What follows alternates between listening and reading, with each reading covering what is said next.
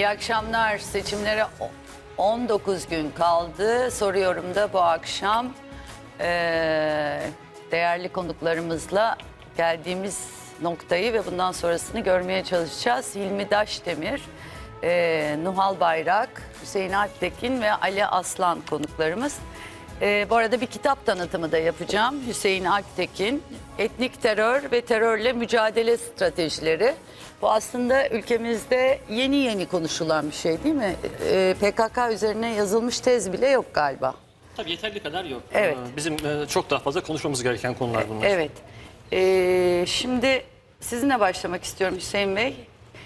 Önce kitapla ilgili bir, bir iki cümle alayım. İRA, ETA, Tamil kaplanları ve PKK'yı mukayese etmişsiniz. Genelde de bu dördü galiba mukayese ediliyor. Tabii, öne çıkan Niçin örgütler. olduğunu size soracağım ve peşinden de Kandil'deki operasyon ihtimalinden söz edeceğim. Ee, neden bu dördü? Şimdi şöyle, e, ETA İspanya'da, e, İran Britanya'da, Tamil Kaplanları Sri Lanka'da bunlar e, PKK ideolojisine yakın yani milliyetçilikle, etnik milliyetçilikle e, Marksizmi birleştirmiş, devrimcilikle ayrılıkçılığı birleştirmiş terör örgütleri.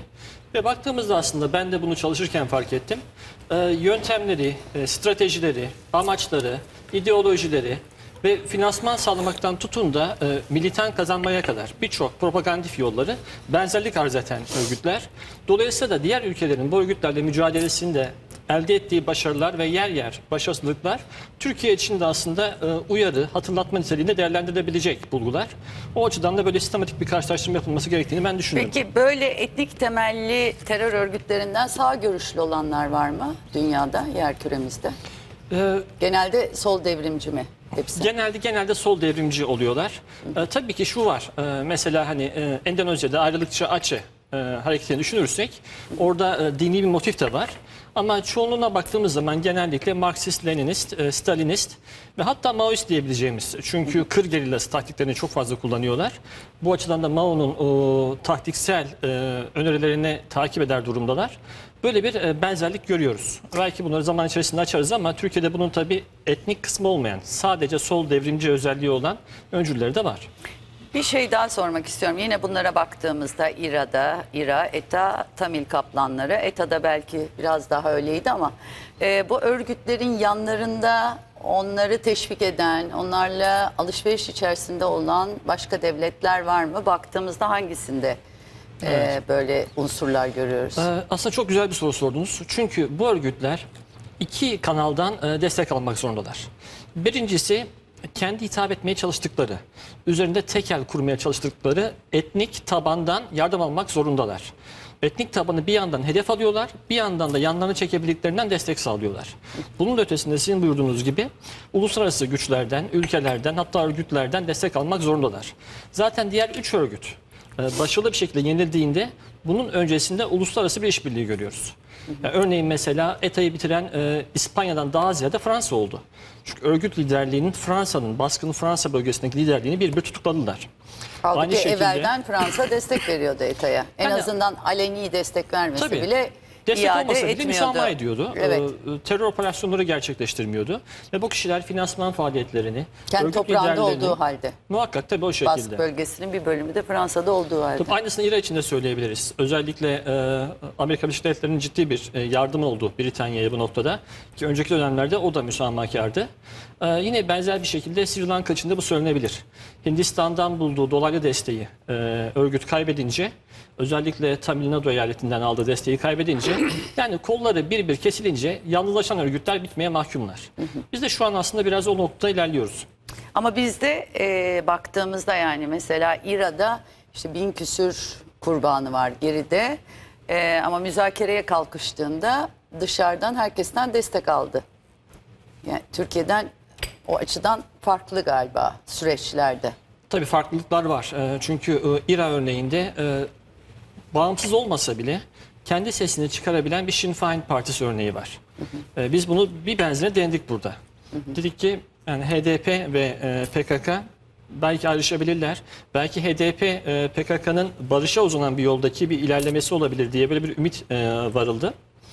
Ancak gördük ki e, bunun pek mümkünatı yok. En nihayetinde e, PKK size tükürüyle boğar diyen e, HDP'li vekillerle karşılaştık. Sırtımızı e, YPG yasladık diyen vekillerle karşılaştık. Ve hatta e, Bici Serok Apo diye tweet atan, halen daha şu an tweet'i vardır. E, tutuklu bir eş başkan Sayın e, Demirtaş'ı gördük. Dolayısıyla e, HDP-PKK ilişkisi ne Sinn Féin e, ve İRA arasında ne de Heli Batasuna ve ET arasındaki ilişkiye çok fazla benzemiyor. Otonomisi oldukça düşük, e, alanı oldukça dar bir parti. Ve e, otonomi PKK için geçerli büyük ölçüde geniş Tabii, değil aktör mi? PKK tabii HDP'yi ki. Onu da bir soru daha sormak istiyorum. Seyircilerimizden özür dileyerek bu konuda çalıştığı için 7 Haziran e, son parlamento seçimlerinde ilk defa tarihinde 80 milletvekili kazanan bir partiydi e, HDP. Ama PKK e, bundan sizce hoşlandı mı? PKK ben şunu fark ettim. Ee, örgüt yöneticilerinin açıklamalarına baktığımda ki bunlar biliyorsunuz Almanya'da çıkan örgütün bir gazetesi var. Yeni Özgür Politika. Buraya zaman zaman köşede yazıyorlar. Yani Mustafa Karasu, Duran Kalkan, Cemil Bayık gibi isimlerin buralarda yazıları Oradan çıkıyor. alenen isim vererek tehdit de ediyorlar. Filanca kişi Tabii. e, yakında gününü görür diye e, isimle Tabii tehdit öldüreceğiz diyorlar. Manşetten öldüreceğiz Evet. diye. Hedef aldık diye yazıyorlar. Evet. Bu örgüt yöneticileri 7 Haziran sonrasında şöyle bir paniğe kapıldılar. Yani biz e, tırnak içerisinde bu işin bedelini ödedik. Bizler bu işin çilesini çektik. HDP'liler nasıl ortaya çıkabilir? Hani Demirtaş kim? Hani biz varken, Cemil Bayık varken, işte Duran Kalkan varken e, bu genç siyasetçiler yahut da daha geçmişi doğrudan olmayan siyasetçilerin alanının çok genişlediğini fark ettiler. Ve e, partinin kurulma misyonu belli. Parti PKK'nın legal alandaki uzantısı olacak. Dolayısıyla bunun dışına çıkma emaresi gösterdiğinde PKK ipleri eline aldı. Genel stratejisini belirleyecek. Tabii, Cemil Belki seçim milletvekillerinin kimler olacağı konusunda da Tabii tabii bunları görüyoruz. Mesela bir önceki olacak. dönemde işte Altantan'ın e, adaylığı için e, parti istemediği halde e, İmralı'dan öyle bir direktif geldiği söylendi, yazıldı, çizildi. Nitekim Cemil Bayık e, 1 Kasım seçimleri için bunu söyledi, 7 Haziran için değil. Ama dedi ki ya biz olmasaydık %5 bile alamazdı parti. Yani hadlerini bilsinler, e, patron biziz diye bunun doğrudan mesajını imale falan değil. Doğrudan bunu söyler. Şimdi birazdan soracağım HDP tamam bu durum aşikar fakat artık seçmenine bir şey söyleyebiliyor mu diye. Ee, hemen oradan bir de Kandil operasyonu ile Evet. ilgili sıcak gelişme olduğu için sizden e, yorum alayım. Nasıl değerlendiriyorsunuz olası bir operasyonu Kandil'e ve Amerika Birleşik Devletleri ile de Membiç konusunda yaptığımız anlaşma dahilinde? Tabii. Ee, Aslında e, artık olası da demeyelim buna. Operasyon e, olanca süratiyle devam ediyor. Ee, Aralık ayında e, Hakurk bölgesinin havadan bombalanmasıyla başladı bu iş.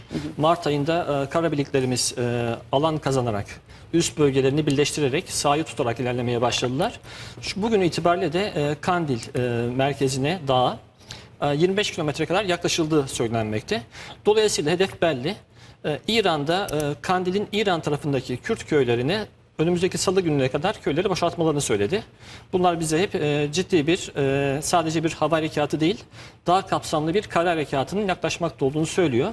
Başka da çaresi yoktu zaten bu iş. Bu iş havadan Peki o olmuyor. yalnız bırakma dahilinde yani çevredeki ülkelerin çeper hatta çeper olmayıp okyanus ötesi ülkelerin de e, müdahalelerinin e, minimize edilmesi gerekiyor herhalde değil mi böyle bir mücadelede?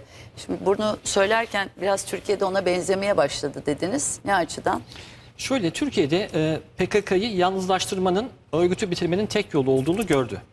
Dolayısıyla hani e, yani gerçekçi olalım. Bu örgüt e, komşu ülkelerden ve hatta hiç bölgede aktif olmayan ülkelerden destek almasaydı barınamazdı. Bakın 30 yıla geçti, neredeyse 40 yıla gidiyoruz. Bu örgütün varlığı ortaya çıkmasından beri. Türkiye'de tek bir kurtarılmış tırnak içerisinde köyleri yok. Halen daha mağaralarda, inlerde saklanarak yaşayan insanlar. Ama baktığımızda örgütün uzun bir süre Suriye'de vardı. Bir ara kesildi şimdi geri geldiler. Ve Irak'ta e, ciddi kampları var. Oralarda ciddi yapıları var. Dolayısıyla bu ülkelerde ülkelerdeki yöneticilerle, idareyle belli bir çerçeve içerisinde bir ortak çözüm yolu eğer ortaya konmazsa sadece Türkiye'nin buradan gerçekleştireceği hava harekatlarıyla örgütü bitirmek mümkün değildi. Bugün itibariyle bakıyoruz. e, Gün içerisinde, program içerisinde bunu da açarız belki biraz daha. Özellikle geçmiş 25 Eylül e, tarihinden bugüne kadar gerek Irak merkezi hükümetiyle gerekse de İran'la bu noktada varılan bazı mutabakatlar var. Bunların sahaya yansımaları var. Özellikle hava operasyonlarının Asos'a, Mahmur'a kadar inmesi ve akabinde bu kapsamlı kare harekatıyla biz aslında bir ortak noktada buluşulduğunu görüyoruz. Kandil Harekatı çerçevesinde. Bunun tek bir riski e, Irak seçimlerinden sonra birinci parti olarak çıkan ve liderin Sadr'ın Türkiye'ye mesafeli duruşu. Eğer e, Sadr bu anlaşmayı, bu mutabakatı sabote etmezse e, seçim öncesi, Irak seçimleri öncesi şartlara baktığımızda üç ülkenin bu noktada bir mutabakatı var. diye görüyoruz. Ee, Nuh Bey, Cumhurbaşkanı Diyarbakır'daydı. Cumhurbaşkanı siyasi hayatıma mal olacaksa da diyerek e, bir çok cesur ve Türkiye Cumhuriyet tarihi açısından çok önemli bir süreç başlatmıştı. Şimdi Diyarbakır'da dedi ki artık Kürt meselemiz, Kürt sorunumuz yoktur. Ne demek bu? Açabilir misiniz? Bir de evet buyurun. Şimdi e, Kürt sorunu diye bir şey vardı daha önce gerçekten ve ben bunun bilinçli olarak e, böyle isimlendirildiğini ve bunun oluşturulduğunu düşünüyorum. Kürt sorunun oluşturulduğunu düşünüyorum. Yani sorun olan Kürtler gibi mi? Hayır. Sorunsunuz demek gibi miydi bu Kürt Kürtleri sorunu? sorun haline getir, getiren bir yönetim tarzı e, olduğunu düşünüyorum. Özellikle CHP döneminde e, o, o- oradaki Kürt kökenli vatandaşlara karşı yapılan uygulamalar, gerek asker eliyle, gerek işte bürokrasi eliyle yapılan uygulamalar bir Kürt sorunu oluşturdu gerçekten ve bilinçli, bilinçli olarak oluşturuldu bu bence. Yani ulusal e, bir e, güya e, Yıllar yılı itibariyle. tabii ki çok önceden ve işte Dersim'e kadar uzanan bir süreç bu. Dersimle başlayan. Ee, Mı? Yo ona kadar da yani bütün uygulamalara bakın unut- unuttuk mu biz daha yakın zamana kadar bölgenin adı sürgün bölgesiydi. Ee, nerede e, baş edilmez, nerede affedersiniz böyle e, en çirkef insanlar varsa e, devlet kademelerinde, bürokraside e, Doğu ve Güneydoğu'ya gönderiliyordu ve bilinçli gönderiliyordu. Dolayısıyla özellikle e, ta işte CHP döneminden itibaren bir e, Kürt sorunu oluşturuldu. E, ve peşinde bu PKK'yı doğurdu. Son 10-15 yıl boyunca bence e, bu iktidar e, gücünün büyük bir kısmını bu meselenin Kürt meselesi, Kürt sorunu olmadığını, bunun Kürtlerin de beraber muhatap olduğu, Kürtlerin de meselesi olan bir terör meselesi olduğunu anlatmaya çalıştı ve çok şükür buna inandırdı e, büyük ölçüde bölgeyi. İşte Anlatırken en önemli şey sizce nedir? Yani o anlatırken gösterdiği manzaraya baktığınızda gördüğünüz İşte şey tam nedir? oraya geleceğim. Ee, Bahsettiğiniz e, çözüm süreci bana göre bu süreçlerdeki o, o diyalog da dışında fiili olarak ortaya konan müşahhas uygulamaların en önemlisi. Neden? Ee, çözüm sürecinde devlet e, Kürt halkıyla bir meselesi olmadığını, sadece terör örgütü meselesi olduğunu ve e, çözüm üretmek istediğini ve bu konuda ciddi anlamda inisiyatif kullandığını ortaya koydu. Ee, az önce Hüseyin Bey'in e, işte karşılaştırmaları e, esnasında dinlerken bir şey aklıma geldi benim. Belki e, yanlıştır bilemem ama şöyle bir tespitim var. E, gerek İ- İRA gerek ETA bölgesindeki işte o bölgede bir bağımsızlık savaşı veren e, örgütlerdi. Terör örgütü sonuçta ama böyle bir örgüt örgüttü. PKK'nın farkı adına bağımsızlık savaş yani adına e, Kürtler adına mücadele savaş adı kondu ama hiçbir zaman PKK Kürtler adına mücadele etmedi. PKK'nın asıl motivasyonu Kürtler veya Kürtlerin mağduriyetlerini gidermek değil. Evet az önce bahsettiğimiz Kürtlerle ilgili o oluşturulan devletin bizzat oluşturduğu mağduriyetler doğan, mağduriyetlerden doğan bir örgüt olmakla beraber sadece o mağduriyetleri istismar etti bu örgüt. Böyle düşünen çok Kürt aydını da var tabii değil mi? O, ama şimdi artık o daha netleşti. O mağduriyetler hep istismar etti bu örgüt. Dolayısıyla sonrasına baktığımız zaman örgüt hiçbir zaman Kürt halkı için uğraşmadı. Tam aksine e, emperyalist güçlerin emrinde e, Kürtler falan bir tarafa zaman zaman Kürtleri de mağdur ederek bizzat, bizzat mağdur ederek Türkiye üzerinde Türkiye'yi bölmeye, Türkiye'yi e, işte zayıflatmaya, Türkiye'yi yıpratmaya yönelik bir süreç içerisinde oldu hep. Ama asıl amaç bu olduğu için gerek çözüm süreci, gerekse az önce bahsedilen Et- ETA, ETA ve İRA ile alakalı süreçlerdeki yani mesela siyasallaşma sürecindeki adımlar sonuç vermedi Türkiye'de. Çünkü Türkiye'deki örgütün e, amacı motivasyonu farklı Yani- veya yönlendirildiği e, şey farklı. Vazgeçmek istemediği bir iktidar alanından söz edebilir miyiz? Yani ya da çok çok e, yani kendisi açısından Ben kıymetli gördüğü doğru bir iktidar alanı. bir 30 küsur yıl boyunca bir yaşam tarzı haline geldi onların bu tarz ama ben gene de o örgüt liderlerinin kendi hallerine kendi başlarına kaldığını düşünmüyorum. Yani onların inisiyatifine değil. Onlar velev ki artık bu- bunu bitirelim diye düşünseler bile bitirebilecekleri düşünmüyorum. Yani onlar çünkü bugüne kadar onları kim yaşatmışsa, kim bu noktaya getirmişse onlardan emir emir alıyorlar. Onların onlardan bağımsız hareket etmeleri mümkün değil. Bu hiç zamanda Türk veya veya Kürt diye bu hiçbir zamanda Kürt halkı veya Kürtlerin işte liderler olmamıştır hiçbir zaman. Dolayısıyla bu siyasallaşma süreci veya çözüm sürecindeki adım elbette bundan dolayı sonuç getirmedi. Ama ne oldu? Bu süreç neyi getirdi? Az önce bahsettiğimiz o devletin e, devletin aslında Kürtlerle bir problemi olmadığını anlatma sürecinde çok ciddi anlamda faydası katkısı oldu. Bir taraftan da siz hatırlattınız e, CHP ideolojisiyle onlarca yıl devam etmiş bagajda yüklenmiş ağır yükleri vardı e, bölgedeki Aynen. halkın. E, bu yani devletin attığı adım biraz da o yükleri hafifletmek Elbette. ve kendisine düşeni de yapmak diye değerlendirebilir miyiz? Elbette. M- Sayın Baş, o zaman Başbakan döneminde Dersim'le ilgili bile e, özür diledi e, Sayın Erdoğan. Dediğim gibi ama bu adımlar sonuç nihai olarak tam bir sonuca ulaşmasa dahi Kürt e, bölgesinde, Kürt halkın nezdinde e, Kürt kökenli vatandaşlarımızın nezdinde şunu gösterdi. Evet Burada e, devletin amacı gerçekten farklı. Asıl burada mağduriyet oluşturan ve bu şeyi sürdüren terör örgütü. Dolayısıyla hele Hendek sürecinde çok daha yakından yüzleşti terör örgütüyle. Daha önce işte güya onlar adına savaşan e, tırnak içinde söylüyorum birileri e, vardı. Çok da fazla yüz yüze gelmiyorlardı şehir şehir içerisinde. Ama Hendek sürecinde affedersiniz yatak odalarına kadar giren, onlara zulmeden, onlara oradan süren ve, e, ben Evet, sayısını tam bilmiyorum. 93 bin göç sadece 4 şehirde Cizre, Şırnak, Silopi, Diyarbakır'da Sur. Evet 25 bin Cizre, Şırnak 30 bin. Ee, işte de onu 93'e tamamladığımızda Silopi ve Sur arasında Bu paylaşılıyor. tamamen terör e, yani. PKK terörünün doğurduğu bir e, e, göç ve meçhule giden bir göç. Yani e, ne olduğu belli olmayan büyük ciddi anlamda sosyolojik problemler doğuran bir göç ve o halk çok iyi biliyor ki bunun sebebi PKK. İşte o süreç asıl tam da bir yüzleşmeye sebep oldu bence. Asıl hem PKK'dan hem de HDP'den bana göre tamam şu an HDP'nin bir oy potansiyeli olabilir ama HDP'den e, bölge halkının koptuğu süreç bu süreçtir. Bugün olabilir Kürtlere oy ve- e, HDP'ye oy verecek Kürtler olabilir ama unutmayalım ki Demirtaş'ın not ettiler. Demirtaş'ın arkasına Cizre'ye gidiyoruz 100 bin lirayla gideceğiz diye yola çıktı Demirtaş. 15 kişi düşmedi arkasına ve yoldan geri döndü Demirtaş o dönemde. Neden? İşte bu ortaya çıkan e, yüzleşmeden dolayı. Şimdi geçen hafta da biraz konuştuk bu mevzuda ama e, Erdoğan'ın mitingi nedeniyle ve sizin de açtığınız yerden o zaman devam etmek istiyorum. E, Pervin Buldan'la Selahattin Demirtaş ikisi de e, bir televizyon kanalında röportaj verirken Pervin Buldan e, halkın kendini savunması diye e, Tarif etti tarif şeyi. ediyor Hende'yi. Halbuki Selahattin Demirtaş e, hiç de iyi olmadı. Biz de üstümüze düşeni yapamadık diyor. Tekrar bir hatırlatma. Murat Karayılan Pervin Buldan gibi söylüyordu. Fakat o da bilahare çok büyük hata yaptık demişti.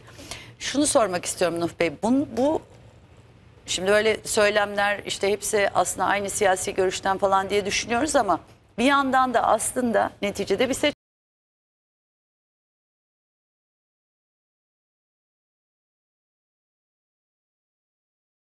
Söylem düzeyinde bazı şeyleri ifade etmekte güçlük çektikleri manasına geliyor mu bu aralarındaki farklar?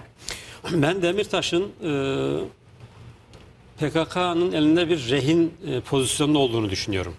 Yani e, mesela o bahsettiğim az önce konuşulan 7 Haziran sürecinde veya ondan önce e, Cumhurbaşkanlığı e, adaylığı döneminde Demirtaş kendine göre bir e, bir portre ortaya koymaya çalıştı. Türkiye e, işte partisini 7 Haziran'da Türkiye'yi kurtaracak Türkiye Partisi olarak kendisini Türkiye'nin Cumhurbaşkanı e, şeklinde tanıtmaya çalıştı ve bunun söylemlerini e, yük- yüksek ölçüde dile getirdi. Ama daha 7 Haziran akşamında ciddi anlamda bir fırça yedi, bir e, ayar yedi tabiri caizse kandilden ve e, fabrika ayarlarına döndürüldü. O zamandan beri de e, adeta bir rehin durumunda. Dolayısıyla ben e, hem Demirtaş'ın hem diğer e, HDP'li siyasetçilerin e, ki bir kısmının anlamda zaten e, bağlantısı var şeyle, e, örgütle. Doğrudan. Ama olmayanların da özgür bir biçimde bir siyaset ortaya koyabildiğini düşünmüyorum. Dolayısıyla seçmene söyleye Dolayısıyla ha, mesaj oraya geliyorum. güçleşiyor mu? Dolayısıyla onlar bir aslında bir e, çıkmaz içerisinde.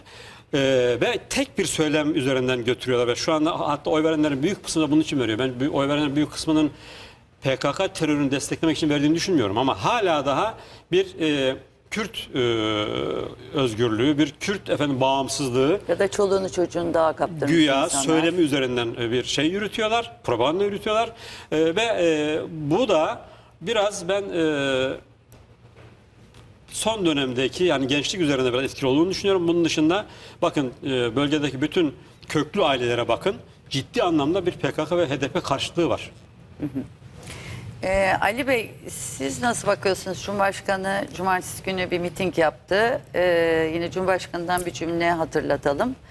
Diyor ki hiçbir özgürlük geriye e, gitmeyeceği gibi yeni dönemde özgürlük çıtasını daha da yükselteceğiz. Ve yine bir cümlesi daha var. Bu belki diğer muhalefet partileri için de geçerli. Biz yaparız HDP yıkar. Çünkü artık yolları falan da yıkmaktan söz edildiği için. Bu diğer partiler için de geçerli. Evet öyle gözüküyor. Diğer kampanyalarda da benzer yani onlar terör e, şey evet. vaatler e, sunuldu. beraberinde bir terör örgütüyle değil ama aşağı yukarı Yani şey beyan ben, olarak e, yani söylenenler hemen hemen zaten e, meselenin bütününü ortaya koydu. Şöyle bir e, yönü de vardı meselenin. Ben de ondan, ondan bahsedeyim. Yani bu e, Arap Baharı sürecinde e, işte biliyorsunuz halklar e, demokrasi için e, ayaklandılar. O dönemde PKK'da benzer şekilde Kürt e, halkını aynı çemberin içerisine sokmaya çalıştı ve burada daha çok ön plana çıkarılan e, laiklik üzerinden bir siyasetti. Hatta büyük büyük isimler işte Avrupalı e, entelektüeller falan e, Türkiye'de işte Erdoğan'dan kurtulmak için layık bir blok oluşturulmalı. HDP de bunun önemli parçasıdır işte. E, Arap Baharı da bunun içeri, bu Arap Baharı bağlamındadır vesaire diye. Böyle Denendi bir diyorsunuz. evet böyle bir e, şeye evrildi e, bir süre e, PKK HDP siyaseti ama daha sonra bu işte o diğerleriyle 6-7 beraber Ekim olayları da biraz bu söylediğinizle mi ilintili? Kesinlikle. Yani şimdi Gezi'yi falan da düşünelim. e, Güneydoğu'ya taşımak. Yani Çünkü Gezi- Gezi'ye e, Kürtler Batı'da destek vermedi değil mi? ver, vermediler. E, şöyle bir şey Açıkça destek vermediler yani. e, Hatta çok kasıtlı keskin. bir şekilde öyle bir politika var daha doğrusu. Yani e, o- o süreçte çözüm süreci devam ediyordu. Kararsızdılar ve e, destek vermeme kararı aldılar. Sonra da pişman oldular biliyorsunuz. Bazı gazetelerde hatta Evet, sonra biz de oradaydık diye yazılar yazdılar. Fethullahçıları da kastediyorsunuz. Onlar da te- şey e, gazetelerinde tenkit etmişlerdi. Ama şimdi batıda çıkmadılar ama sonra doğuda çağrıldığında da 53 kişi e, vefat şey, öldüyse bile aslında sokağa çıkma çağrısı başarılı oldu mu? Yani e, epey bir kişiyi sokağa döktüler. Yani e, şehirleri... Yani gezi benzeri bir Yok gezi şeye benzeri gezi benzeri bir şey olmadı. Ee, o ölçekte bir şey dönüştü söyleyemeyiz. Yani Ama, e, özür dilerim burada araya giriyorum ama yıkıcılık anlamındaki şeye baktığım zaman Gezi de çok önemli bir kalkışmanın e, ürünüydü. Kobani olayları 6-8 Ekim o- olayları aslına bakarsanız bu baştan beri e, devletin ve hükümetin iyi niyetli çabalarının sonlandırılması anlamda çok büyük bir yıkıcılığa sahipti. Tabii, tabii. Yani o Ya şu- anlamda yani şöyle bir şey söyleyeyim. Gezi'den biraz ayrı tutarak Yani AK- oradaki AK- yıkıcılığını da e, ayrıca e, saptamak gerekiyor Yani AK sanırım. Parti siyaseti e, sonuçta e, biraz önce bahsedilen Kemalist düzenin e, dışladığı grup gruplardan bir tanesi. İşte muhafazakar dindarlar. İşte laik milliyetçi bir rejim vardı. Hem Kürtleri hem de muhafazakar dindar Türk e, kesimi Kürt'le beraber tabii orada e, kesişen bir nokta var. Her iki tarafı da e, dışlıyordu. AK Parti iktidara geldikten sonra yeniden bir şey tanımlamasına gitti. Devletle toplum arasındaki ilişki Çünkü düzenleyecek. muhafazakar Kürtler hem Kürt olduğu için hem muhafazakar Aynen olduğu iki için. çifte İki- çifte dışlama. Hatta kadınsanız belki üçüncü bir dışlama da ekleyebilirsiniz oraya. Ee, AK Parti'nin böyle bir siyasi- siyaseti vardı. Devlete yeniden eklemleme hem muhafazakarları hem de Kürtleri. Yani bu eklem hatta bunu e, Aleviler meselesinde de o açılım sürecini hatırlayacak olursanız 2008'lerin sonu 9'da 2009'dan itibaren yani gezi süreci nasıl laik ve Alevi kesimleri e, devlete daha doğrusu AK Parti'nin o oluşturmaya çalıştığı projeye e, entegre olmasını engellemeye yönelikse bu 6-8 Kobane süreci de Kürtlerin e, entegre olmasını engellemeye yönelik bir şeydi. O süreç devam etti Yani tabii ki daha aslında o sonrasında. çoğulculuğa karşı bir e, Kesinlikle. saldırıydı diyorsunuz. Kesinlikle yani e, işte e, hatırlayalım çözüm süreciydi her e, tüm boyutlarıyla. Bu dışarıdan e, güdümlü bir şekilde bir de. Yani içer, ben sadece içerideki aktörlerin e, inisiyatifiyle olan bir şey olduğunu düşünmüyorum. Yani bunlar dışarıdan e, inisiyatif kullanılarak e, AK Parti'nin e, toplumdaki iktidar nüfuz alanını genişletmesini e, daha doğrusu bu burada sadece tek taraflı bir ilişki de yok. AK Parti diğerlerine kimlik falan dayatmadı. Onlar da o siyasi düzenin parçası haline getirmeye çalışıyordu. Ama bunlar e, kasıtlı bir şekilde Ay, çok özür diliyorum. Cumhurbaşkanına döneceğiz. Cumhurbaşkanı Ereğli'de maden işçileriyle beraber iftarda şu anda konuşmasına bağlanıyoruz. Ali Bey araya gitmeden Cumhurbaşkanı Ereğli'de enerjiyle ilgili ve daha çok kömür vurgusuyla biraz evvel iftarda bir konuşma yaptı.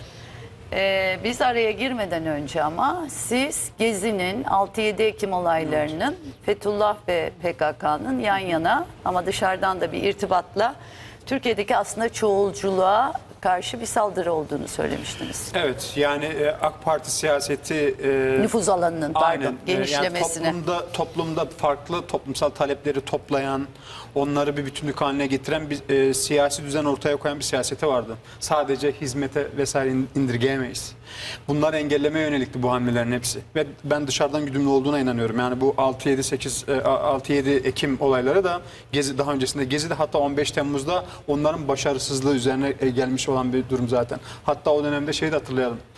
DAEŞ, e, DAEŞ'in, Ha, DAEŞ'in tabii PKK'nın iç- iç- saldırıları kaç tane bombalı saldırı oldu İçeride Türkiye'ye? HDP mitingine olmuştu. Mesela değil mi iç savaş Tabii kesinlikle. e, tehdide oluşturacak şekilde bir takım Evet. eylemlere girişilmişti. Bir Za- sürü yönden. Zaten hani muhalif e, şeyleri falan okuduğunuz zaman medyayı e, şunu söylüyorlar. Biz AK Parti'yi durdurduk. Durdurduk derken e, kendi mahallesine geri ittik. Bundan sonraki süreçte e, artık Bu e, söylediğiniz çok önemli. Bu- bundan sonraki süreçte iktidarı da elinden alacağız. Daha da e, marjinalize edeceğiz, periferiye süreceğiz. Eski şey yani muhafazakarların eski konumuna iteceğiz. Tam olarak e, böyle bir şey öngörüyorlar, siyaset öngörüyorlar. Bu şiddet de o kadar ileri gitti ki en son Afrin'de belki geri döndük ama e, beka tartışmasına varıncaya kadar Türkiye'de galiba değil mi Hilmi Bey? Evet. E, siz nasıl görüyorsunuz bölgeyi?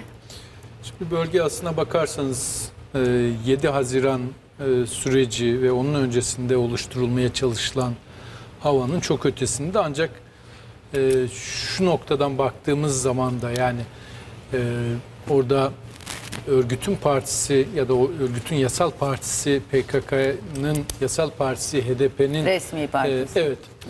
Ee,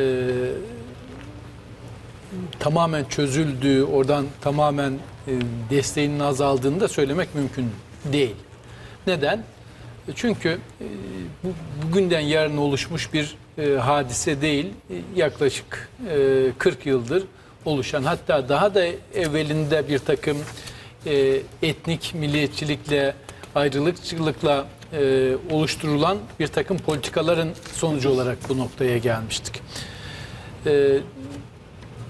Hendek olayları çok net bir şekilde bölge halkına, halkına bir şey gösterdi ki e, Hendek olayları e, onlara vaat ettiği şuydu bölge halk, halkına Hendek olaylarının ölüm, e, esaret, mahremiyetine e, müdahale e, bu tür hadiseleri e, Hendek olayları gösterdi ve daha sonra da e, kayyumların atanması ve kayyumların atanmasıyla birlikte de hizmet görmüş olmaları, gerçek anlamda hizmet görmüş olmaları da e, birazcık daha Hatta e, dendi ki evvelden de kayyum yönetiyordu burayı. evet. Yani e, sonuç itibariyle bunlar önemli adımlar. Fiziki olarak orada e, yıkılan yerler için yeni binalar yapılıyor. Bunlar da önemli adımlar. Ancak önümüzdeki dönemde sosyal rehabilitasyon anlamında da çok ciddi adımların atılacağına dair e, AK Parti'nin hükümet programında e, çok önemli maddeler var. Sadece bunlar da değil yani diğer e, konularda da birçok şeyler var, maddeler var. Çünkü yıllardır oluşan bu terör olayının, terör olaylarını yaptığı bir tacibat var. Bu tacibatları gider, gidermek için sosyal bir takım projeler ele almalısınız. Nitekim Biz Anadolu'yuz projesiyle oradan öğrenciler e, alınıp e, iş deniz görmeyenler İstanbul'a getirildi, Ege'ye götürüldü falan bunlar İçişleri Bakanlığı'ndan e, yine e, Cumhurbaşkanımızın eşleri Emine Hanımefendi'nin himayelerinde e, yapılan e, projelerdi. Süleyman Soylu e, e, bu bu projeyi Emine Hanım'la bir e, himayelerinde yaptı. E, bu tür adımların atılmasıyla tamamen e, ileride değişme potansiyeli var. Ancak e, bölgenin e, daha çok üzerinde e, PKK tehdidinin silah te- silahla yapılan tehdidin e, kaldırılması yönde e, atılacak adımlara ihtiyaç var.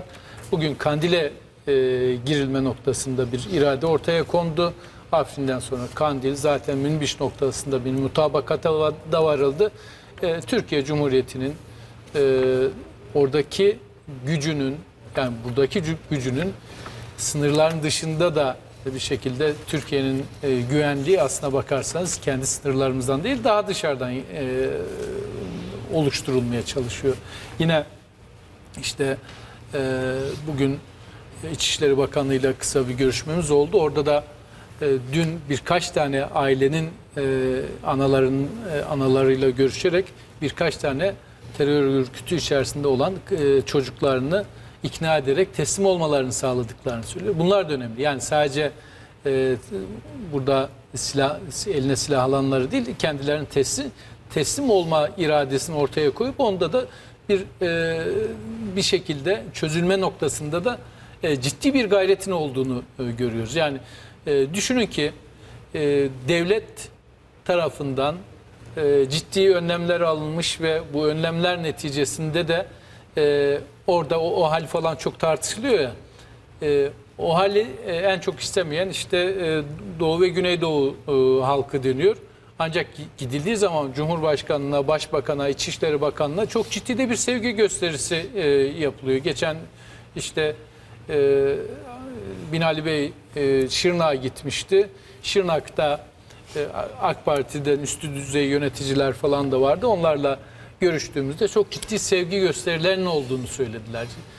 E, Benim kardeşim e, Şırnak'ta öğretmenlik yaptı ve 4 yıl boyunca zorunlu e, öğretmenlik döneminde yaşadıklarını e, biz biliyoruz. Birçok e, insan da o bölgelerde Şırnak'ta, Hakkari'de e, yaşıyor. görev yaptı ve o dönemde özellikle Hendek olayları öncesi dönemde ciddi bir orada devlete karşı bir duruş vardı. Ya da bu duruşun e, neticesi olarak kendi devlete yakın kendisini hissedenler seslerini çıkaramıyordu. Çünkü e, diğer türlü e, bir şekilde e, öldürülmeye, cinayete varan eylemlere maruz Evet. kalıyorlardı. Devlet kendi mahkemesini kuramıyordu, kurdurum, e, kurdurmuyorlardı. Bir e, aslına bakarsanız çözüm sürecinin e, suistimal edildiği bir dönemi de yaşanmış oldu. Çözüm sürecine gelecek olursak, çözüm sürecinin de o dönemde yaptığımız araştırmalarda MHP'lilerin de bir kısmında dahil olmak üzere çok ciddi de bir destek vardı. Şimdi tam orada e, kalın istiyorum söylediğinizden hareketle. E, bu kadar kesin bir ifadeyi e, aslında Cumhuriyet Halk Partisi liderinden duymadık. E, Batı gazetelerinde de görmedik. Ama şunu sormak istiyorum Nuh Bey size. Diyor ki Selahattin Demirtaş yine Hendek'le ilgili röportajında işte barikatları kazmadık ben bunları desteklemedim. Yani bunu telin ediyor. Hendekleri e, e, sa- savunmuyor. Savunabilecek savunulduğunda tabana bir şey söylenmediği açık. Fakat fazladan şunu söylüyor. Diyor ki 15 Temmuz'da bir de baktık ki meğerse bu evleri insanları yakıp yıkanların tamamı darbeciymiş. Şu anda tamamı darbecilikten içeride. Şimdi burada bir tane terör örgütü yok. Bir tane daha terör örgütü var. Ama eee, gene dediğim gibi yani Kılıçdaroğlu'ndan daha insaflı bir ifade bu. İlk defa birilerinin ne iş yaptığı FETÖ'nün eee, teyit edilmiş oluyor bir kez daha. Doğru. Hani hep iktidar ağzından çıkıyor iddiası var. Doğru. Ama e, biraz da burada sanki e, hani o tecahülü arif sanatı diye bir şey var. Beyit de bilmemezlikten gelme gibi.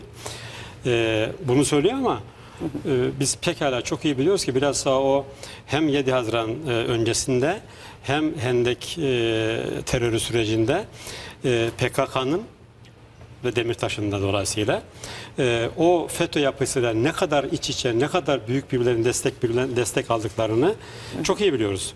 E, Hendek sürecinde sürecin o kadar uzamasının asıl ana unsurlardan birisi e, FETÖ'nün o, o zaman daha çok etkili olan e, emniyette bilhassa ve e, jandarmada askerin içerisindeki FETÖ unsurlarının doğrudan doğruya PKK'ya verdiği destek Yani sürecin suistimalinde FETÖ'nün çok büyük şeyi var. Zaten o, o çok daha büyük şey var, FETÖ'nün etkisi var. Ee, şimdi e, belli kesimler ne zaman ağzını açsa çözüm süreci üzerinden e, Erdoğan'a e, saldırıyorlar. Efendim işte e, şeyin çözüm süreci diye o tanınan süre tam anlamında anlamıyla PKK'ya bir yeniden tahkim e, süreci oldu diye. Bunda gerçek payı var. Ama e, şura bakmak lazım. Bu nasıl oldu bu? E, devletin veya e, işte e, yönet devletin yönetenlerin e, beldeleri, illeri, ilçeleri emanet ettiği yerel yöneticiler, efendime söyleyeyim e, oranın işte kaymakamları, emniyet müdürleri vesaireleri üzerinden yapılan bir şey bu. Yani o zamanki bu bu noktalarda bulunan FETÖ'cüler doğrudan doğruya PKK'ya alan tanıdılar. Şehirlerin bir kısmının tam bir e, tabiri caizse silah deposu haline gelmesine sebep oldular. Dolayısıyla e, asıl burada sorgulanması gereken şey FETÖ'nün buradaki e, enfeksiyon e, ortaya koyduğu enfeksiyondur. Orada e, belki şeyi hatırlatmak gerekir mi bilmiyorum değerlendirmenizi açmak açısından. Şimdi 7 Haziran seçimlerine kadar da baktığımızda gerçi uluslararası casusluk şebekesiymiş ama e, daha henüz bilmediğimiz dönemde belki e, çözüm sürecinin başlangıcı 2012 Hakan Fidan ama baktığımızda e, aşırı milliyetçi ve mümkünse bütün Kürtlerin bir şekilde e, yok olması gibi yahut işte e, tamamen asimile edilmesini isteyen bir dil kullanıyordu Fethullah İşte ve o gazeteleri. O benim e, az önce arz etmeye çalıştığım Ve CHP dönemindeki şeyin devamıdır işte 7 o. Haziran seçimlerinden sonra medyasına Kürtleri sevme programı diye seminer verdirdiğini işitmiştik. Ben az önceki Günlerce. Çünkü dili katkı- dili o kadar bozuk ki. Yani şimdi artık yeni bir Dönüştürmek alana için öyle bir açılacak. şey ihtiyaç duyuldu yani. Katkı- Ama PKK'lı oldu. Yine Kürtlerle ilgili bir şey değil. Bir katkı sunabilir miyim Buyurun. az önce e, Nuh Bey'in e, söylediklerine? Ş- Hatırlarsanız o dönemde e, çözüm süreci e, böyle giderken o silahların e, bir şekilde depolandığı dönemi devletin neden fark etmediği en çok sorulan sorulardan birisi. Neden fark etmediğine gelince devlet içe e, devletin istihbaratının o, e, örgüt içerisinde yerleştirdiği elemanları vardı. Tabii, Bu tabii, elemanların e, deşifre edilip bunların listesini PKK'ya veren de FETÖ'ydü. Bunlar Hayır, Hendek'e, tek tek Hendek'e infaz mani ettiler. olacağına Tabii, tabii. Hendek Hay- Hayır, diye bunun çok daha ön- öncesindeki o, olaylar bunlar tek tek tespit edilip infaz edildi. Devletin e, örgüt içerisindeki elemanları e, ve oradan herhangi bir şekilde enformasyon gelmediği gibi e, diğer türlü de e, Ama oradaki bir, bir- evet bir yandan devlete saldırı bir yandan da o bölgedeki insanların hayatına saldırı değil mi? Fethullah'ın yaptığı. Biz şey de asıl şuradan başlamak lazım. O KCK operasyonlarını hatırlayalım lütfen. KCK operasyonları FETÖ'nün devletle Kürt e, bölge Tam yani Kürt süreç vatandaş- başladığında. e, arasını tamamen açmaya yönelik bir operasyondur. evet. Hakan Fidan'ı da içeri Tabii, alma tabii, tabii, girişimi aynı, Aynı, şey. ama oradaki şey çok önemli. Orada çok şuurlu bir biçimde az önce arz etmeye çalıştığım CHP'nin mirası olan o Kürt sorunu tırnak içinde söylüyorum. Kürt sorununu sürdürme gayretleridir bunlar. Yani oradaki meseleyi PKK veya terör sorunu olmasını algısının oluşmasını engelleme adımlarıdır. Dolayısıyla baktığımız zaman ve sonrasında da Yani devletin yani başka bir yerden bakmasına mani oluyor stratejik olarak. Kürt sorun olarak kalmasını sağlamaya Çok çalışıyorlar. önemli söylediğiniz. E, Çok önemli. Ve ama şu da var bakın. Sonra bunların çoğu ortaya çıktı. İşte Demirtaş bile FETÖ'nün buradaki fonksiyonunu söylüyor. Ama başka bir şey görüyoruz bundan sonra. O FETÖ'nün de işte tabiri caizse tam anlamıyla e, ifşa olduğu dönemden sonra Türkiye'deki entelektüeller Ya onlar- büyük büyük ölçüde işte e, akademisyen e, takımı ve çok daha önemlisi sözüm ona bundan sonraki süreçte Türkiye'yi yönetmeye namzet olan ana, muhalefet maalesef bu konuda bütün bu şeyin her şeyin ortaya çıkmasına rağmen dürüst bir e, duruş sergilemediler. Hangi konuda? Yani siz mesela buradaki Demirtaş'ın itiraf ettiği hani adamlar içerideler her şeyi onlar yapmışlar, yakmışlar, yıkmışlar cümlesini Türkiye'de entelektüel çevrede işittiniz mi? Hayır. Tam aksine ben bunu dediğim gibi bu Demirtaş'ın bu itirafını ben biraz sorumlu buluyorum. Yani şöyle Evet ama en azından ağzından doğru çıkmış. doğru en azından o kesimin burada fonksiyonunu bu arada ifade etmiş oluyor. Doğru. Ama e, biz bahsettiğimiz kesimin Yani bu cümleyi başka yerlerde duyduk. Hayır işte hem hem FETÖ'ye karşı hem de PKK'ya karşı bile bakın bu şeyi biz bu tavrı görmedik. Hemen ben hızlıca son döneme geliyorum. Hızlıca son döneme geliyorum. Tamamen bir e, ayrışmanın söz konusu olduğu, tamamen artık meselenin içerideki terör e, meselesinden adeta bir ulusal e, bütünlük veya ulusal tehdit noktasına geldiği yani e, az önce bahsedilen savunmamızın sınırın dışına taştığı dönem var ya yani Fırat Kalkanı veya e, işte Zeytin Dalı Operasyonu döneminden bahsediyorum. Bu dönemde de biz gene o bahsettiğim kesimlerde çok net bir görüş, e, duruş görmüyoruz. Yani PKK ile FETÖ iki koldan bölge halkının hayatını perişan etmek Etti üzere ama bunlara Çalıştı ilaveten bu bahsettiğimiz kesimler de bir şey ortaya koymadı. Muhalefet başta olma, ana muhalefet başta olmak üzere. bu yadırganacak bir şey. Elbette çünkü bu konular e, siyaset üstü konular. Bu konularda e, parti olmaz, devlet olur sadece. Ama bu şeyi ortada görmedik Ve biz. kendi insanını düşünürsün. Son son nokta şu bakın. Hala daha e, bugün en son hemen bitireceğim. En son en güncel konu işte az önce bahsedilen Kandil operasyonu. E, bugün daha Özgür Özel'in bir açıklamasını ben dinledim. Buyurun. Efendim e, Kandil operasyonu başka bir şey argümanı kalmayan şeyin AK Parti'nin bir siyaset e, seçim öncesi bir siyaset argümanıymış. Bu neden şimdiye kadar yapmaz da şimdi yaptınız? Bu ifade bakın neden şimdiye kadar yapmadınız da şimdi yapıyorsunuz ifadesi e, kasıtlı veya çok ve çok cahilce bir şey. Çünkü Kandil operasyonu şimdi başlamadı ki. Yani Kandil operasyonu dediğimiz şey bakın bugüne kadar biz ne diyor? Günlerden beri Kuzey Irak'ta bir operasyondan bahsediyoruz. Öyle değil mi? Afrin'le hatta hatta Fırat Kalkan'la beraber başlayan bir süreç bu. Ya ağır ağır ağır yavaş yavaş bugün e, gelinen noktada e, e, bugün daha Sayın Çavuşoğlu açıkladı. Dört e, yani hem Amerika hem Türkiye hem Bağdat hem de Erbil'in ortaklaşa bir şeyle mutabatı yürüyor bu dedi. Bu, bu bile bu noktaya getirilmesi bile diplomatik anlamda uzun bir mesafeden sonra al- gelinen bir süreç. Bugün siz bunu eğer eğer bugün Kandil'e bugün yürü, hareket edilip başlandı diye düşün, bunu söylüyorsanız burada çok ciddi bir ciddiyetsizlik var. Ben bunu bu şeyi paylaşıyordum ki e, sosyal medyada çok dikkatli dostlarımız var. E, benden önce aynı şeyi e, bir değerli bir dostumuz açık şey yaptı, e, cevap verdi e, Özgür Özel'e. Yani Kandil operasyonu bugün başlamadı ki. Toparlarsak eğer şunu söylemeye çalışıyorum. Ama beyannamede zaten PKK, Cumhuriyet Halk Partisi'nin beyannamesinde Yok. hem PKK hem Zaten FETÖ yok. diye bir mücadeleden söz edilmiyor. O Dolay- açıdan tutarlılık oluşturuyor galiba. Doğru. Dolayısıyla e, son cümlem şu olsun. E, Bugün e, siyasette muhalefet partileri ana iktidara her türlü eleştiriyi yöneltebilirler. Bu çok doğal bir şey siyaset içerisinde. Fakat eğer gerçekten Türk milletine, Türk halkına karşı, Türkiye'ye karşı bir sorumluluk taşıyor iseler Ve içinde yaşayan insanlara. Aynen. Bunun bir tek ölçüsü var. İşte Türk milletine kalsın. Bir tek ölçüsü var bunun. Bu gibi yani e, ulusal güvenliğimizi, milletin geleceğini e, ilgilendiren konularda bir ciddi bir duruş sergilemeleri. Bu yok işte bu muhalefette. Bugünkü en büyük problem, en büyük eksik bu. İlmi Bey, Hüseyin Bey'e geçeceğim ama e, birkaç cümleyle sormak istiyorum. Şimdi bir manzarayı sergiledi Nuh Bey. Hakikaten beyannameye baktığınızda bunlar yok ama 7 Haziran'dan bu zamana kadar baktığımızda da e, işte yani orada yaşayan insanların hayatını doğrudan ilgilendirecek bir duruş görmüyoruz. Ama e, işte örgüt, örgütün güdümündeki hareketlere destek veren bir ana muhalefet partisi görüyoruz. Yani bu gizli saklı da değil artık uzun konuşmalardan. zamandan beri aslında evet, aşikar aleni. bir durum. Evet. E, ve Nuh Bey diyor ki bir yandan da müsebbibi diyor. Burada yaşanmış ne varsa, bagajda ne varsa Aynen. Doğru, müsebbibi doğru. diyor. Öyle bir iddia var. Ee, evet. Ş- Peki tabanda yani şimdi mesela Muharrem İnce çıktı işte ee, yani y- oyunu yükselteceğinden söz ediliyor filan Cumhuriyet Halk Partisi'nin.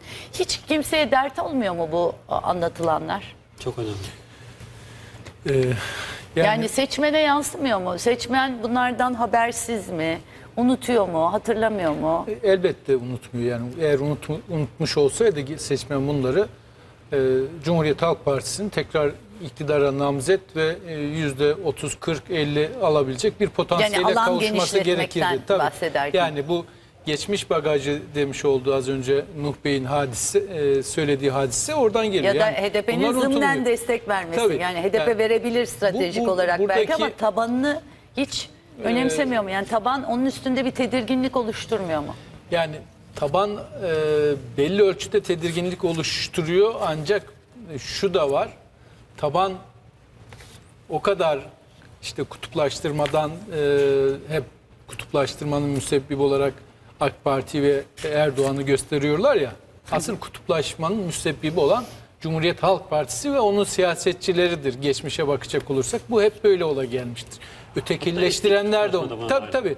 Etiki, e, ötekileştirenler de hep onlar olmuştur.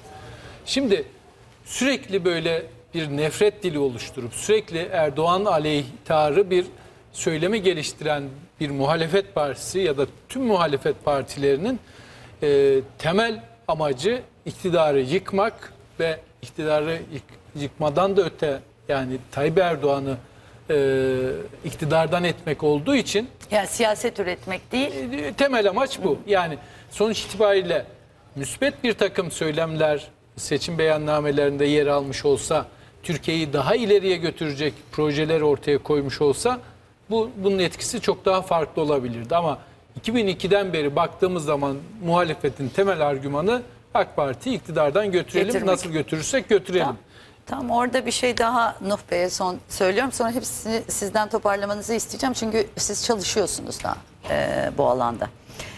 E, Pervin Buldan'a Akşener'i soruyorlar orada. Bu sefer de diyor ki ben eşimi geçenlerde de yıl dönümüydü galiba Twitter'da gördüm. Bir faili meçhul cinayette kaybettim diyor. 90'lı yıllar çok karanlık bir dönemdi. Akşener de o dönemde kabinede yer aldı. İkinci tura kalırsa biz halkımıza sorarız. Halkımız ne derse onu yaparız. Halkımız yani Kim? kim? Ne diyorlar? Şimdi e, HDP e, az önce arz ettiğim gibi bugüne kadar o bölgedeki e, işte Kürt kökenli vatandaşlarımızı istismar ede ede bu noktaya geldi. Dolayısıyla her zaman işte halkımız üzerinden, halkımız ifade üzerinden kendi daha doğrusu Kandil'in söylemlerini aslında halkımız veya Kürtlerin söylemi olarak hep yansıtmışlardır. Ha, evet. Yani e, o sadece bir iş- işin şeyi, e, kamuflajı. Ve burada şu ayrımı her yerde gözetmek gerekiyor bence. Yani, Yani hem bunu söylüyor hem de halkımız değil aslında. tabii ki değil. Kesinlikle değil.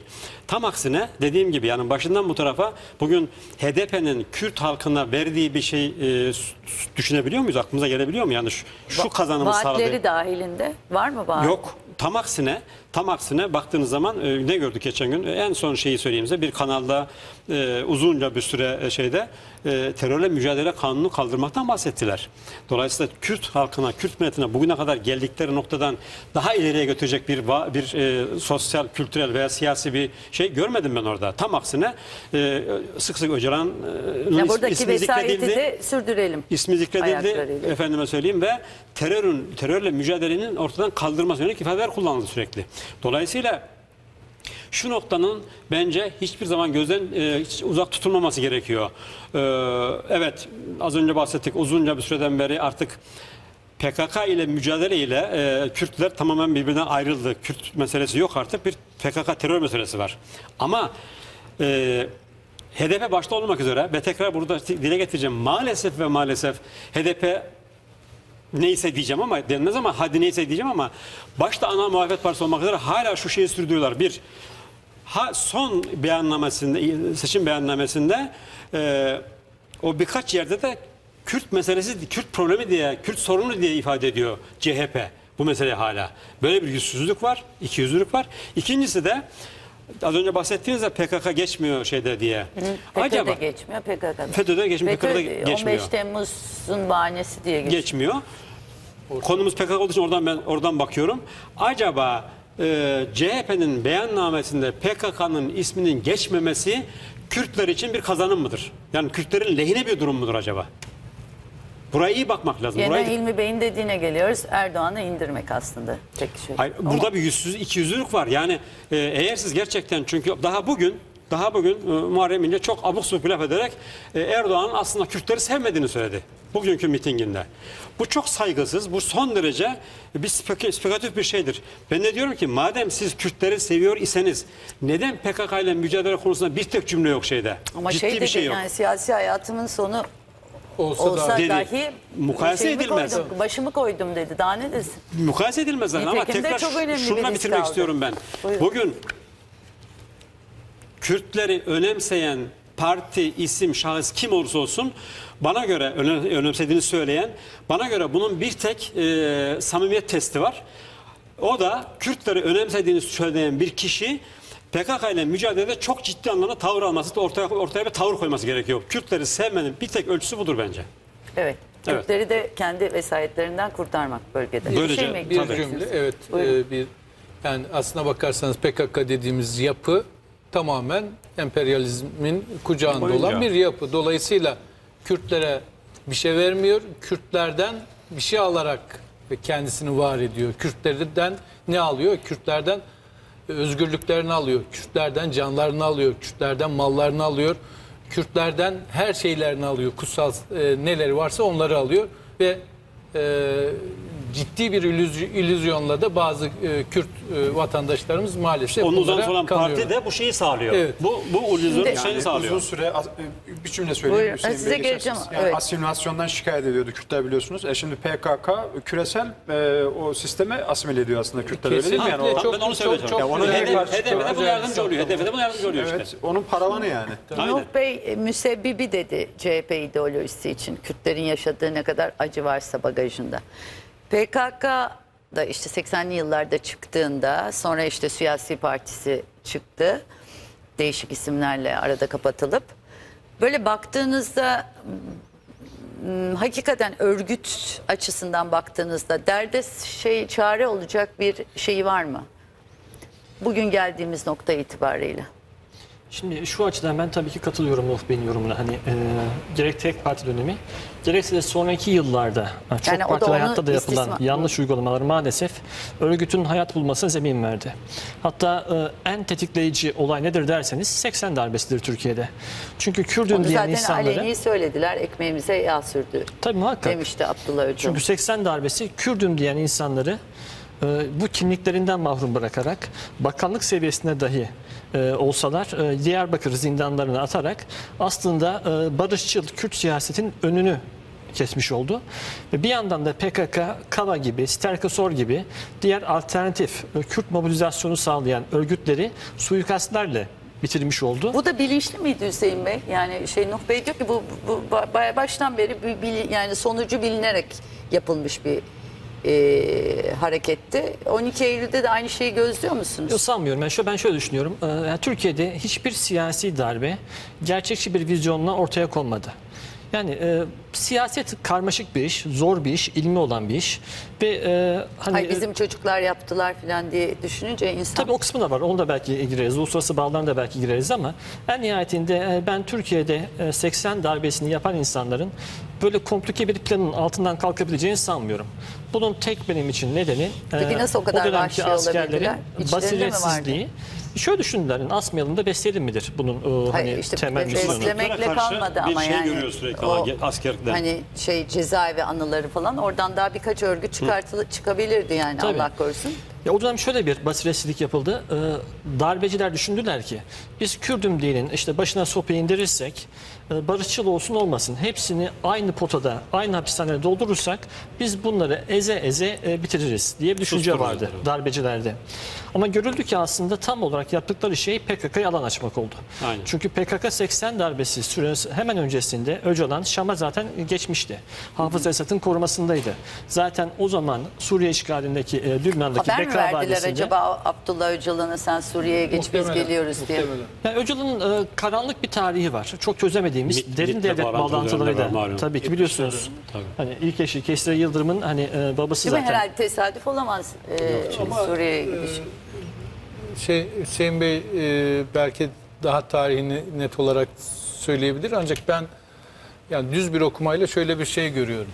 FETÖ ve PKK'nın kuruluşu ve e, dönemine baktığımız zaman muhafazakar alanı e, konsolide etmek için FETÖ, FETÖ. sürülmüş. Diğer tarafta Kürtleri e, Çok toparlamak için de e, PKK Öcalan ortaya sürülmüş ve hemen öncesinde de e, Öce- Öcalan tarihler. tüm işte Kürt lider kim varsa bunları ortadan kaldırmış, kaldırtmış ve kendi arkadaşları da dahil olmak üzere e, bu şiddet neticesi olarak da Kürtlerin hepsi yani birçok Kürt örgütü ona biat etmek durumunda Çok kalmış. Birkaç Önemli şey hariç. bir nokta. Evet Türkiye %99 Müslüman olduğuna göre burada statiko için bir tehdit vardı. Evet. Değil mi? Ee, onu FETÖ üzerinden konsolide etmek için. Diğerini Şöyle de yalnız PKK olacak üzerinden. Benim. Şuna çok dikkatli olmamız lazım. Az evvel e, Demirtaş'ın açıklamasını söylediniz. Ya şunu diyorlar değil mi? Yani meğer Sur'da, Cizre'de işte buraları yıkan insanlar meğer darbeciymiş diyorlar. Böyle bir dil kuruluyor. Buna çok dikkatli olmak lazım. Buyurun. Çünkü bunun bir varsayımı var. Bu varsayım bize diyor ki Sur'da, Cizre'de, Nusaybin'de devlet buraları yıktı. Ha, yıkanlar FETÖ'cüymüş diyor. Ama ya bir dakika bir öncesine gidelim. Bu varsayım acaba doğru mu? Hakikaten devlet oraları yıktı mı? Çünkü buradan hani açıkçası FETÖ karşıtı, FETÖ'nün darbeci olmasından dolayı ciddi hassasiyetlerimiz var. Ama bunu kullanarak sen kendi operasyonlarını FETÖ'cüler yapmış gibi. Ama e, tabii ama öncesinde şeyi söylüyor. lazım. Pardon. Ee, ben hepsini okumadım da Hendek'te barikatlar işte neler olduğunu falan anlattıktan sonra bunu söylüyor. Çünkü orada küçük hareketler var. Diğerleri yakma, yıkma ee, ve PKK'nın da devlet yaptı diyerek peşinden propaganda ettiği alanlar var. Ee, ve o alanlarda e, FETÖ'nün de iş gördüğünü e, insan ister istemez altını çiziyor. Hani Çünkü şey bunu bir kamufle yerde ediyor aslında burada işitmiyoruz. bu Ya şu şeylerle. gerçek. Yani Tabii. FETÖ PKK ile mücadeleyi sekteye uğrattı uzun yıllar boyunca. Biz bunu bazen sahadaki e, görevli kişilerle konuşunca diyoruz. Mesela diyorlar ki ya şurada biliyoruz örgüt militanları var. Gidin vurun diyoruz. Ama işte nerede gideceğiz bir şekilde aksattırılıyor. Böyle şeyler yaşanmış. Maalesef Türk ordumuz içerisinde bir e, yapılanma, FETÖ adını verdiğimiz bu yapılanma terörle mücadeleye ciddi bir darbe vurmuş. Zaten hani 2016'dan sonra hani 15 Temmuz'dan sonra bu yapı temizlendikten sonra terörle mücadelede e, kat ettiğimiz mesafe bunun bir diğer kanıtı. Ama burada şuna çok dikkat etmek lazım. Tam orada şunu sorabilir miyim? Buyurun, Siz tabii. unutmayın e, bu söylediğinizi. Şimdi e, hendekler kazılırken e, halk devletten bir takım insanları arıyor. Çünkü ağlayarak işte annemin bana verdiği 50 liralarla ben bu evleri bu evi yapmıştım diye anlatan bir sürü saha çalışmasında röportaj dinledik. Devleti arıyor ama kimse gelmiyor. Çünkü gelmeyenler de e, işte ülkenin etrafını batısını doğusunu sarmış şebeke. Ee, o şebeke o halkı biraz da sokağa dökmek için e, bir takım provokasyonlarda bulundu galiba bölgede Tabii. değil mi? Bunlar sır değil. Tabii, yani tabii. iki yönlü. Hem PKK halkı sokağa dökmek istedi hem FETÖ dökmek istedi. Tabii bu oldu. Yani o sürece baktığımızda tabii şunu bazen soruyoruz. Ya işte hendekleri kazmışlar, barikatları kazmışlar, devlet görmemiş mi? Ha. Yahut İşte da Fethullah işte görme gö, yani silahlar gömülmüş, beraber bombalar kazmışlar. gömülmüş, bunu görmemiş mi? Bu iki cevap var. Bir tanesini verdik zaten. Dedik ki e, işte istihbarat birimlerine, e, güvenlik güçlerimizin içine sızan FETÖ unsurlarının bunda bir payı var. Bunun yanı sıra bir de şöyle bir boyutu var bunun. Ya devlet aslında birçok şeyi görüyordu ama şunu gördü devlet. Dedi ki öyle veya böyle her ne kadar PKK bu işi suistimal ediyorsa da iki buçuk yıldır tek bir şehit vermedik. Biraz daha bekleyelim. Belki örgüt çözülür. Belki bundan dolayı örgütte kopmalar yaşanır. Belki HDP öne çıkabilir, bir aktör olarak kendisi rol oynayabilir ve tüm bu e, yapılan e, suistimal girişimlerini devlet şehit gelmediği müddetçe tolere etmiş oldu. Ne zamana kadar? E, PKK ateşkes sürecini e, sona erdirdiğini açıklayıp saldırılarına başlayana kadar o zaman da gördük ki devletimiz büyük bir devlet. Yani e, sağa sola bomba gömmekle, barikat kurmakla devlet yıkılmaz. Yani e, değil o şehirleri tırnak içerisinde kurtarmayı bir mağarayı bile kurtarabilmiş değil. Türkiye'de hiçbir kurtarılmış bölgesi yok PKK'nın. Neden de şunu görüyor. Ben büyük bir devletim ve bu o, işte bu terör örgütüne her ne kadar destek alsa da her ne kadar çok sayıda militan olsa da bu terör örgütüne benim yenilme ihtimalim sıfır. Böyle bir ihtimal yok. Ama, doğrudan 93 bin kişinin e, göç etmesine sebep olmuş oluyor örgüt. Acı oldu, 93 bitiş- bin bitişi acı kişi oldu. az bir şey değil. İnsan ev sahibi tak diye çıkardığı zaman ne yapacağını bilemiyor. Birden gideceğiniz yerde belli değil ki. E şunu da söyleyeyim daha acı kılan unsur burada. Şimdi nereden çıktı bunlar? En büyük oranda Sur'dan çıktılar değil mi? E, Sur'dakiler kimler? Sur'dakiler de bir 10 yıl önce, 20 yıl önce köyler yakılırken, köyler boşaltılırken Hakkari'den, Şırnak'tan buralara gelmiş kişiler. Yani aslında evsiz barksız insanlar. Ve neden Evet. Sur seçildi, neden Cizre seçildi? Yani gidin Cizre'nin Cudi Mahallesi'ne, gidin yani Sur'un içerisine gezin. İki kişi yan yana yürüyemeyeceğiniz sokaklar vardı. O darlıkta, o çarpıklıkta yapılar. Ve aslında bu insanlar bir gelecek ümidi olmayan, e, boşuna bunlar 11-12 yaşındaki çocukları eline molotof kokteyl alıp yanına çekemiyorlar. E, bu, bunun bir sebebi var. Çünkü o çarpık yapılaşma içerisinde o göçlerle hayatları belki de mahvolmuş insanlar ve bu kişilerin çocukları çok daha kolay bir şekilde örgüte çekilebiliyor. Örgüt tarafından bunlar alınabiliyor. Ve biliyoruz ki e, PKK militanlarının hemen hemen hepsi daha 18 yaşını görmeden daha çıkmış militanlar. Dolayısıyla 25'ini sorun böyle bir sosyolojisi de var. Onda tabii e, öyle bir durum var. Yani biz sağ kalan teröristleri görüyoruz ama daha önce İlker Başbuğ da bunu dile getirmişti. Ya biz zaten e, Kandil'i 5 kere şimdiye kadar temizledik demişti. Ama o iş öyle olmuyor işte. Kandil'e gitmeden, Yeni oraya o bayrağı. Ölüm dikmeden, makinesi. Kandil'de bulunmadan Kandil'i temizlemiş olmuyorsunuz. Yani militanları öldürerek terörle mücadele yapılmıyor. Ama şimdi Kandil operasyonu o makinenin bu kadar rahat çalışmasına mani olabilecek Mani mi diye olacak ve düşünüyorsunuz? diğer bir diğer hani Özgür Özel'in açıklamasına da e, referans verildi burada. E, çok çok bağımsız bir açıklama. Çünkü şunu da söylüyor. Sadece niye şimdi başlattılar demiyor. Biliyoruz ki zaten önceden başlamıştı. Bundan haberi yokmuş. Bir şey daha söylüyor Özgür Özel. Ya da var da haberi de yok istemem. Belki de tabii belki de manipüle ediyor gerçekleri. Bir şey daha söylüyor. Diyor ki zaten orada PKK yok diyor. Oradan çekilmiş Evet zaten. evet doğru. Ya bu nasıl bir hani Doğru. cehalettir? Ya oraya değil. Ben de bunu not alındım bu ifadeyi. E, boşuna gidiyor Sonra bunu demek karşılaştıracağım. istiyorum. çok talihsiz bir Boş- açıklama. Yani orada boşuna değil- gidiyorsa kimsenin dert etmesine gerek yok. Tam tersi orada PKK'dan başka hiçbir unsur yok. Oraya PKK Irak merkezi güçlerini sokmuyor. Barzani unsurlarını Peşmerge'yi sokmuyor.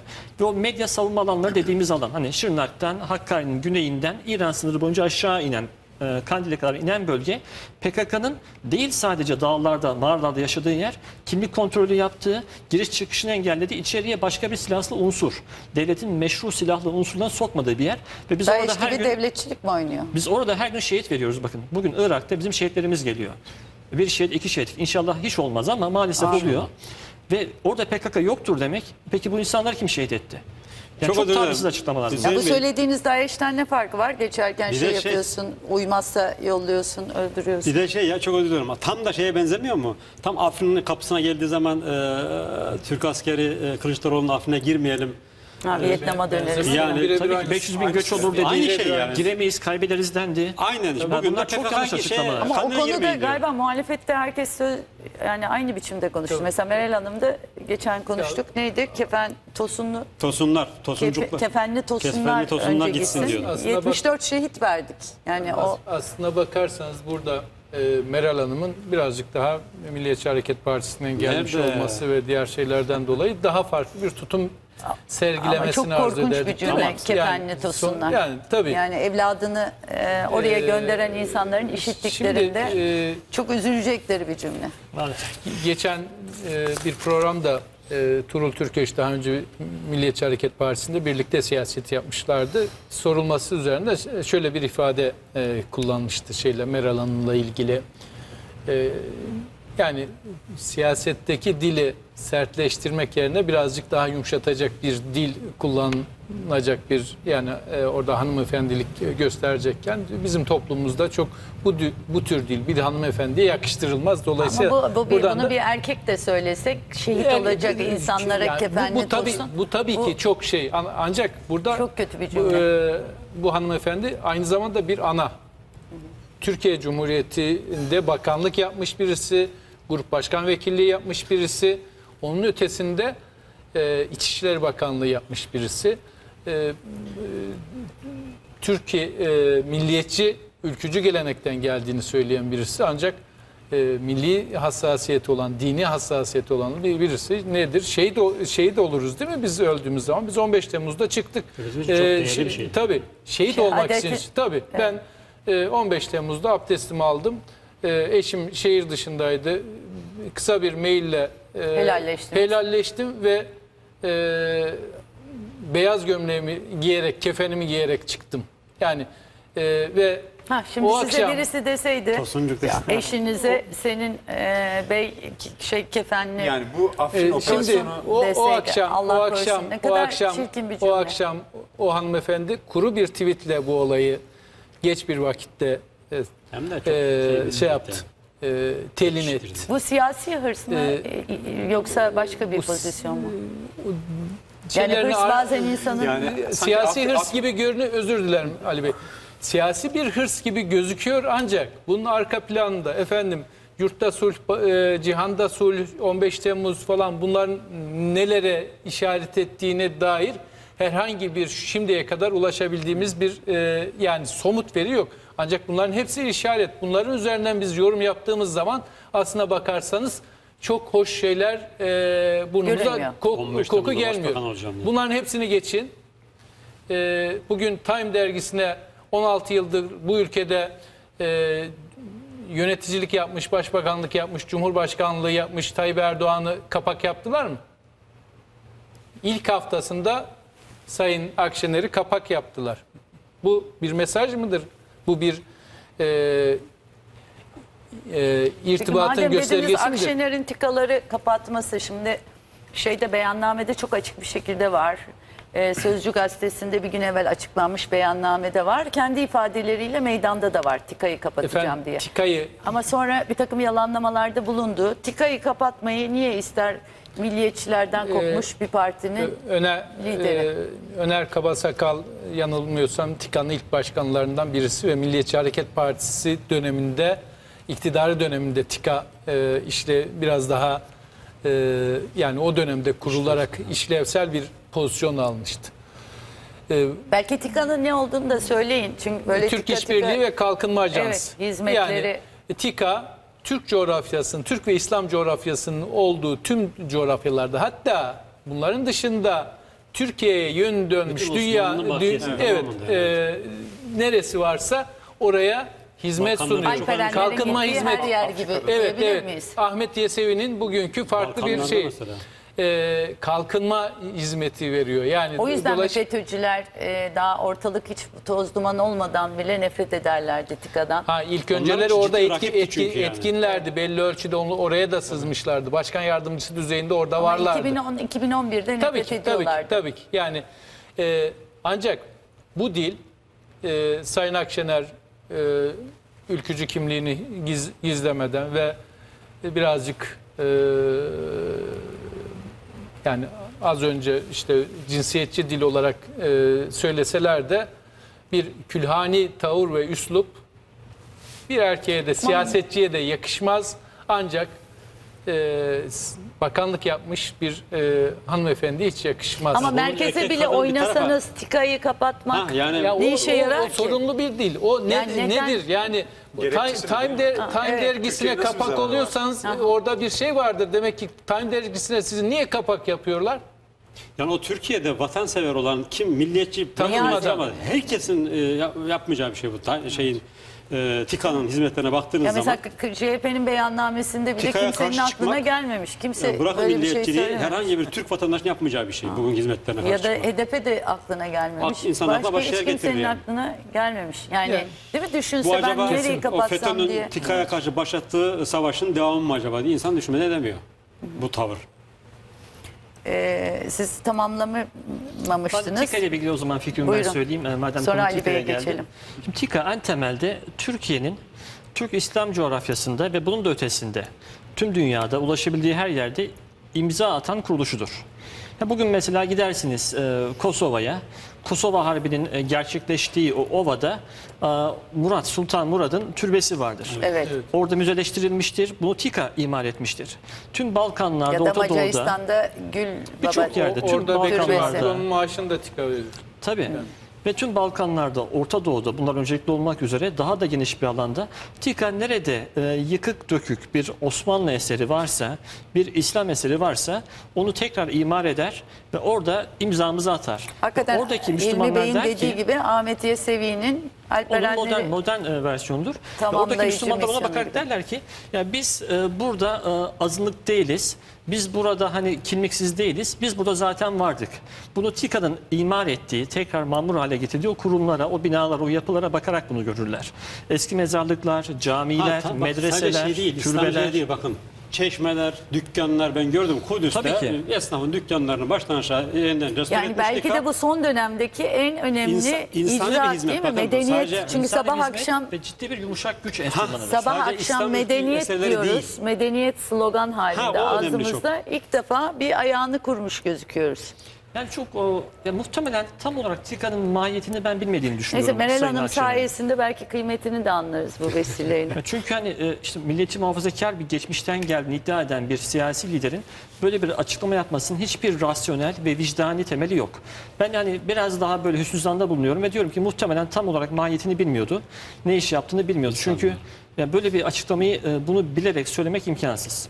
Sizce Ben bunu e, Türkiye'nin eski dış politika kodlarına geri dönme hamlesi olarak görüyorum. Yani e, Meral İçe Akşener, kapanık, yurtta içe sulh içen- kapanık, aynen içeride öyle. şey. İçe kapanık, dışarıyla hiç ilgilenmeyen e, onun bir e, uzantısı olarak görüyorum. Yani e, şimdi şunu sormak lazım Meral Hanım'a.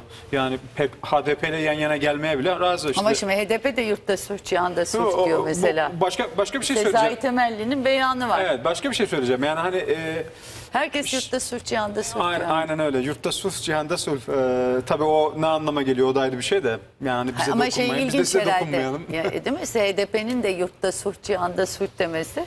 Ya şimdi İlginç. bu Meral Hanım'ın E, bir de diyor ki öteden beri vardı zaten bu diyor. İçeride de bir sulhten. Kesinlikle. Demek yani şimdi Meral Hanım'ın milliyetçiliği konusunda benim bazı şüphelerim var. Yani AK Parti ile HDP yan yana koyduğumuz zaman Meral Akşener HDP ile yan yana gelmekten çok rahatsız olmuyor. İşte Demirtaş hakkında açıklama yaptı. Ama AK Parti'den nefret ediyor. Şimdi ikisini yan yana koyduğumuz zaman bir ülkücü veya milliyetçi birisi hangisine daha yakın durur? Yani hadi siyasi hesaplar Yani falan belki var. orada şeyin altını çizmek lazım. Yani tecrübe edilmiş bir HDP. Yani çözüm şu anki süreci şu anki HDP'den HDP. bahsediyorum. Evet. Evet. Yani tamamıyla PKK güdümünde e, hatta etkisiz hale getirilmiş. Yani birçok milletvekili falan da PKK ile Yani şansını dolayı. kullanmamış. 80 Aynen, milletvekilini meclise Kürtlerden bahsetmiyoruz soktuktan zaten. sonra. Kürtlerden bahsetmiyoruz. Örgütten bahsediyoruz. Yani HDP'nin bir yani şeyin programı başından beri de aslında HDP'nin e, şimdi hani sürekli bir demokrasi e, ifadesi var HDP'lerin ağzında. Demokraside e, çift taraflı olması lazım. Yani siz insanları temsil etmeniz lazım. Ama bakıyoruz ki hep tek taraflı. Yani yukarıdan dikte eden halka, halkı temsil etmeyen aslında. Sadece halkın bir insan sermayesi veya başka e, örgütün diğer amaçlar için kullanıldığı bir depo gibi yani. Yani bu demokrasiyle falan da alakası yok. Yani e, yani bu açıdan baktığımız zaman şu anki durumu hatta belki de en başından beri de böyleydi. Yani PKK'nın e, Kürt halkıyla ilişkisi yani ne hiçbir zaman demokratik oldu mu? Onu o e, soru Çok işareti. tartışmalı. Demokrasiyle şey amacı demokrasi değil amacı Yani ben e, son bir cümle daha Tabii, tabii, yani benim benim e, e, e, gördüğüm şu. Yani 2008'i 9'lu yıllardan sonra bildiğimiz o eski rejim e, yıkıldı. İşte Ergenekon şeylerini biliyorsunuz yani onlar üzerinden e, AK Parti'nin ilk dönemi o eski bürokratik vesayeti ortadan kaldırmaya yönelikti ve kaldırıldı. Ondan sonra düzenin kurulması meselesi ortaya çıktı. Yani yeni kurumların e, yani toplumla devleti bir araya getirecek, daha demokratikleştirecek, daha çoğulcu hale getirecek bir düzen kurulması, siyasi düzen kurulması sorunu ortaya çıktı. AK Parti bunun en büyük, en önemli aktörüydü. Diğer en büyük aktör de belki de FETÖ'ydü. Yani diğer ben CHP'nin, HDP'nin bunların çok e, aktör rol oynadığını sanmıyorum. Zaten e, daha Onlar onun sonrasında peşine takılıyor. Aynen daha sonra e, işte MHP AK Parti'nin peşine takıldı. Belli bir noktadan sonra diğerlerinin bu düzen kurma meselesini bir de onlar düzen kurmak gibi falan bir Tam niyetler. düzeni kurmadan araya gidelim. Tamam. Dönüşte düzenden devam edelim. Küçük bir ara bizden ayrılmayın.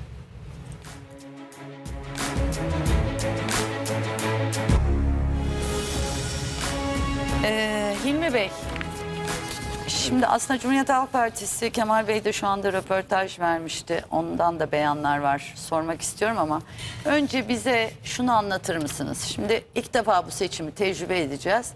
İki ittifak var. Ee, küçük partiler var, büyük partiler var.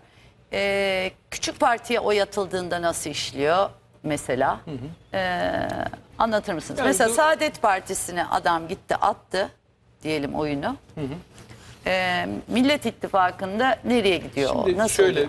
iller üzerinden örnek verelim isterseniz. İstanbul birinci bölgede 33 milletvekili var.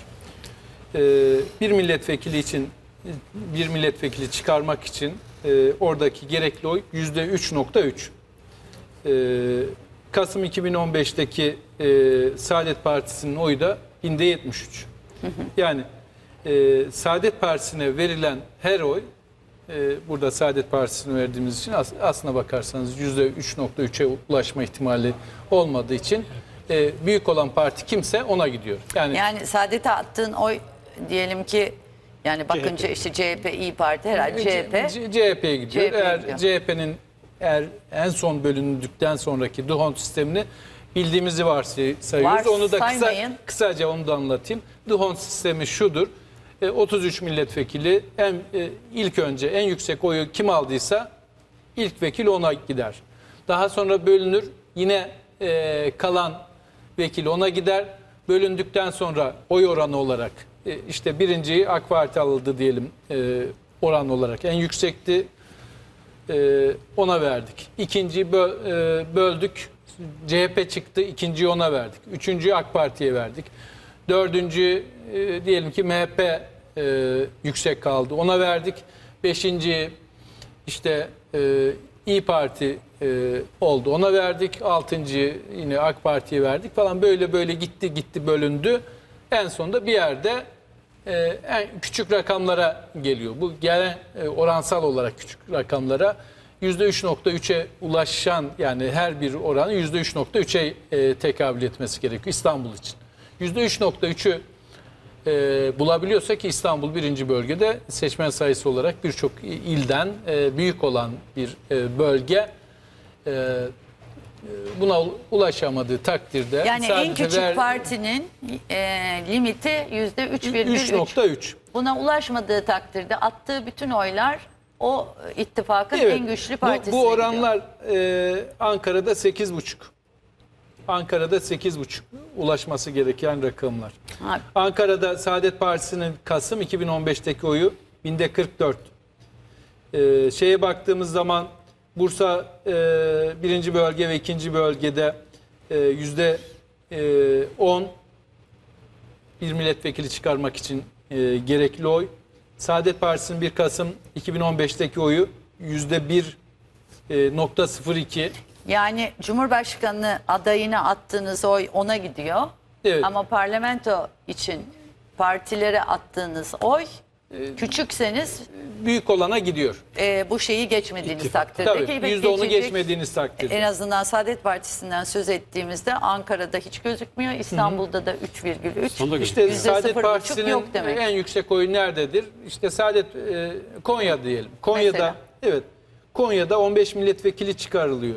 Bir milletvekili için gerekli oy %6.6. Saadet Partisi'nin Konya'da 1 Kasım 2015 e, seçimlerindeki almış olduğu oy e, binde 89. Yüzde bir bile değil. O zaman şimdi böyle bakınca Saadet Partisi bir tek şey sembolik ittifakın Burada Saadet Partisi'ne aslında CHP'nin bakarsanız listelerinden giren adaylar oldu ya onun için iki koydular tane, zaten. üç Burada tane bir şey yani. daha ben burada yapmak isterim. Ayrıca bugünkü Saadet Partisi'ni 2015 Kasım'daki Saadet Partisi'ne de aynı zamanda da eş tutmamak gerekiyor. Yani- Ciddi bir savunma var bu sefer. Çünkü o Yani zaman Numan tabanın- Kurtulmuş vardı Yok. 2015'te. Hayır, Mustafa hayır. Kamalak. Bu, Ha, Kamalak. bu dönemde ciddi bir savur şey var. Yani e, bu ben Temel Karamollaoğlu'nun şu anda ortaya koyduğu tavrı Saadet Partisi'nin tabanının e, büyük ölçüde e, benimsemediğini Ama düşünüyorum ki bundan Kamalak'ta da gençler var. Fethullah Ee, şeyi vardı. Çok fazla. burada çok farklı algısı bir durum vardı. var. e, şey olarak konjonktürel olarak Kamalak, Demek Kamalak'ta- oradaydı. İlişkileri de iltisak falan anlamda öyle bir e, duruşları Çok falan da konuşulmuştu vardı. Evet. o dönemde. E, sonuç itibariyle buradaki Saadet imajı Partisi'nin nasıl sildi İlmi Bey? E, yani ortadan Ya Kamalak kay- gitmedi ortadan ki. kaybolarak herhalde yani şeyde e, Partide çünkü hala. Ama şey Temel Karamolla seçildikten sonra ona çok Kenara şey kalmadı. Kenara çekilmiş oldu. Yani e, Temel Karamolla da e, görevini gayet iyi bir şekilde ifa, ifa ediyor. Yani Aynen. sonuç itibariyle iyi. e, Misyonu demek.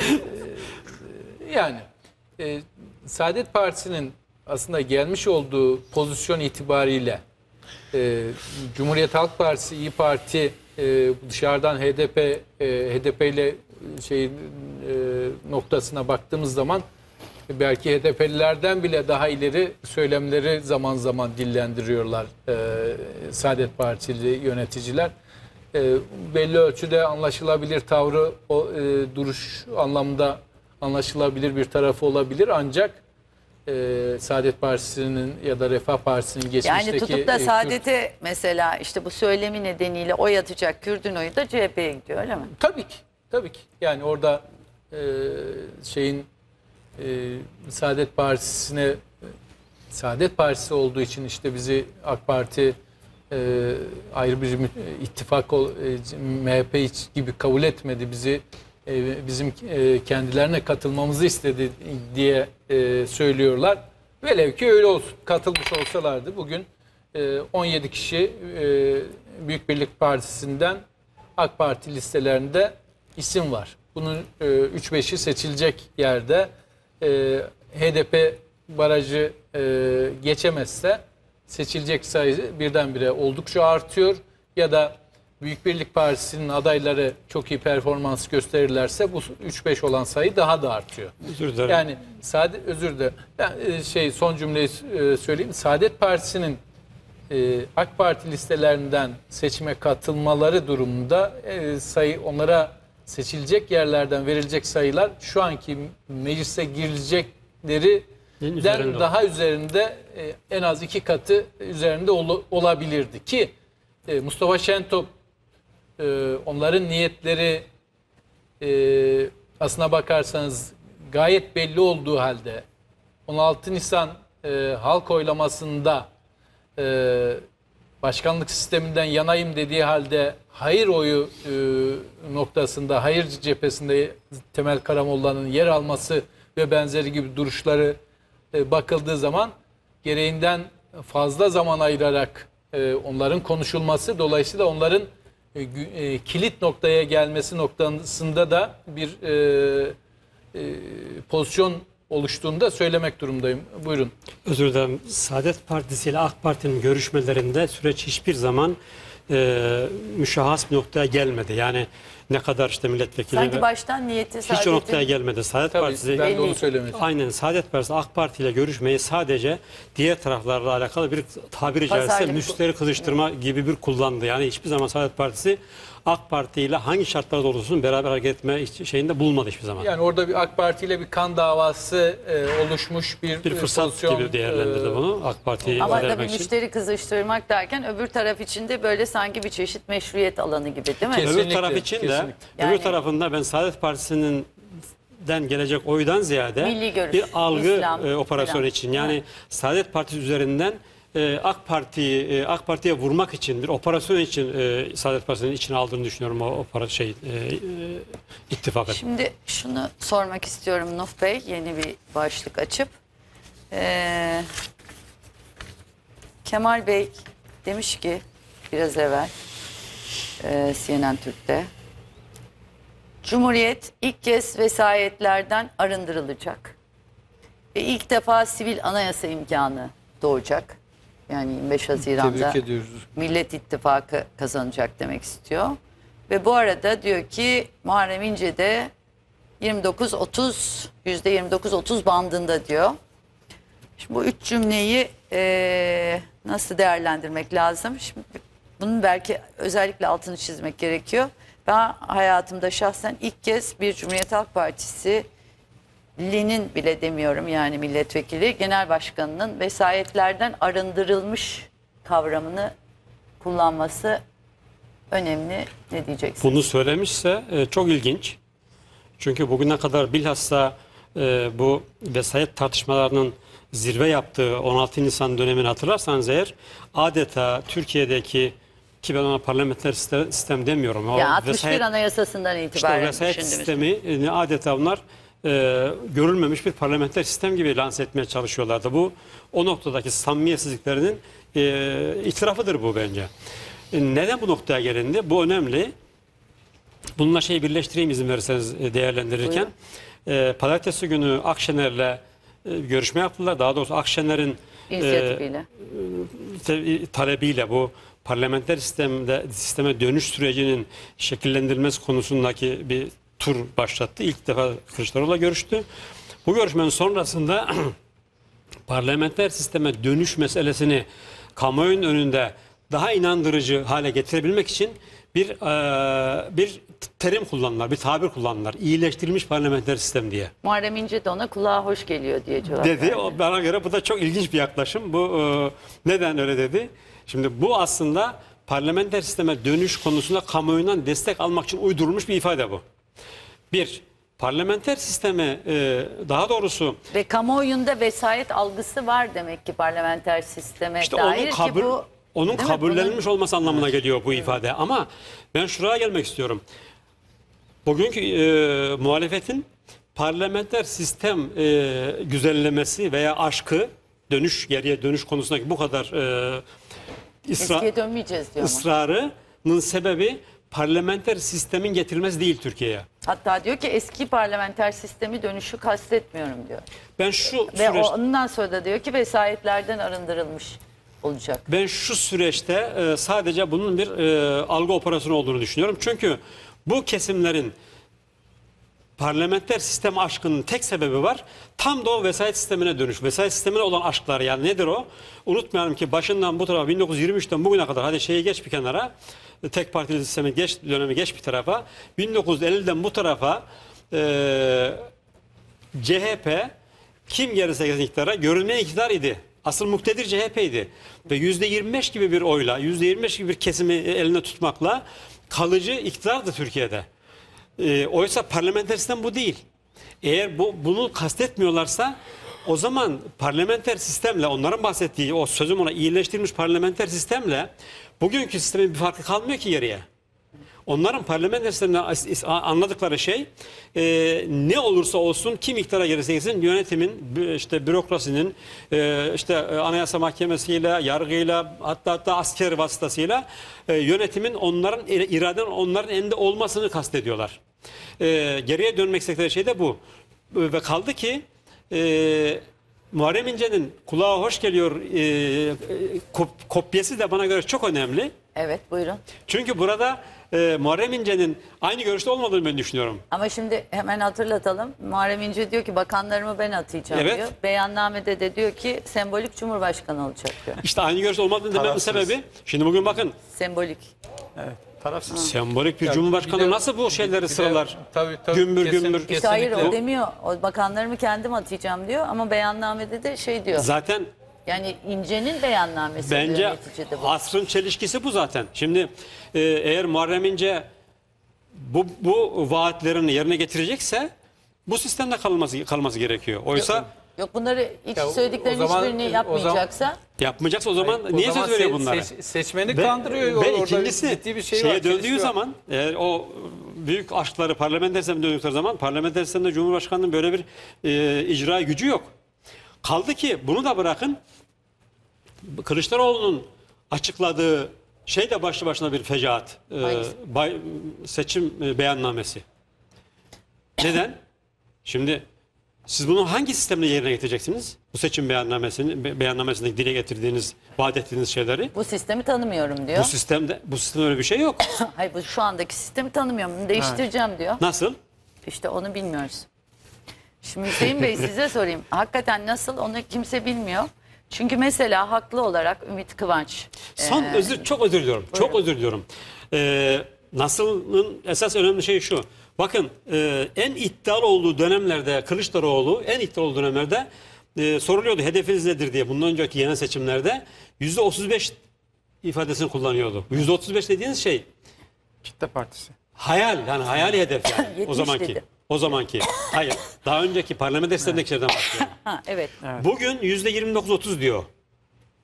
O zamanki beklentilerin ve gerisinde şu andaki hedefi bile, ya hayali bile. Başka son bir şey daha söyleyeceğim. Ama seçimden önce de ben 60 yani ta- ilan edilmeden önce ben 60 diyorum ama belki de 70 olur Güzel. Şimdi bir şey Onun söyleyeceğim. biraz Gerisine Tam düşmüş. tam Kılıçdaroğlu Gerçeklere göre. şeyi açıklarken seçim beyannamesini açıklarken ve her vadenin sonunda e, a- adeta bunlar biz yapmayacağız anlamına gelen e, biz eğer Muharrem İnce Cumhurbaşkanı seçilir Cumhuriyet Halk Partisi de parlamentoda çoğunlukla parlamentoda yer alırsa bunları yapacağız ifadesini kullanırken ki bu, bu, bu, bu ifade bu ikisini getirdiği zaman biz hiç bunları biz yapmayacağız anlamına geliyor. Tam da o sıralarda partinin e, medyadan sorumlu genel başkan yardımcısı sosyal medyada bir şey paylaştı. Ona bir soru sorulmuş. Soru soruyordu. Ne hedefliyorsunuz sizin? Hedefiniz ne bu seçimde parlamento, parlamentoda diye. ifade ettiği şey rakam 137 milletvekili. Bunları bir araya getirdiğiniz zaman bu va- vaatlerin de beyannamenin hepsinin Boş olduğunu. sadece göz boyama olduğu ortaya çıkıyor. Peki e, Hüseyin Bey şimdi Ümit Kıvanç da e, herhalde Millet İttifakı'nın tabanından bir isim olarak bana göre de haklı. Diyor ki tam bu mevzuda Kılıçdaroğlu, Akşener, Karamollaoğlu, HDP eş başkanlarından birini de yanlarına alıp parlamenter rejime dönüş manifestosu ve yol haritası açıklamalılar. Bütün bu partilerin seçmenleri parti yönetimlerine bu talebi dayatmalı. Çünkü seçmen bunu bilmek istiyor. Doğru değil mi bu çıkış? Kesinlikle. Haklı bir çıkış. Ee, şimdi Meral Hanım gitti görüştü bir komisyon hazırlayacağız falan dedi ama 19 gün kaldı. Ee, sizce Millet İttifakı'nın seçmeni neyle idare edileceğini, kim tarafından nasıl falan onu biliyor mu? Ee, Bunu kimse bilmiyor aslında. Ee, Değil seçmen. Ee, Partilerde de bunu bildiğini söyleyemeyiz. Yani e, tabii burada Hilmi Bey var. Hani kamuoyu yoklamalarını e, ona tekrar sorabiliriz belki ama ama az çok bildiğimiz bir şey var ki e, Sayın Cumhurbaşkanı Erdoğan seçimin e, muhtemel galibi. Büyük olasılıkla galibi olacak.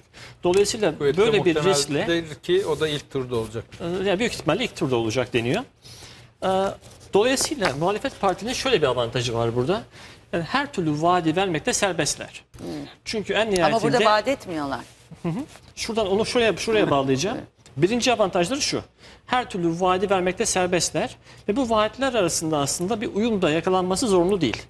Yani Cumhurbaşkanı partinin Cumhurbaşkanı adayı çıkıp der ki ben Cumhurbaşkanı olarak şu şu vaatleri size veriyorum bunları yapacağım.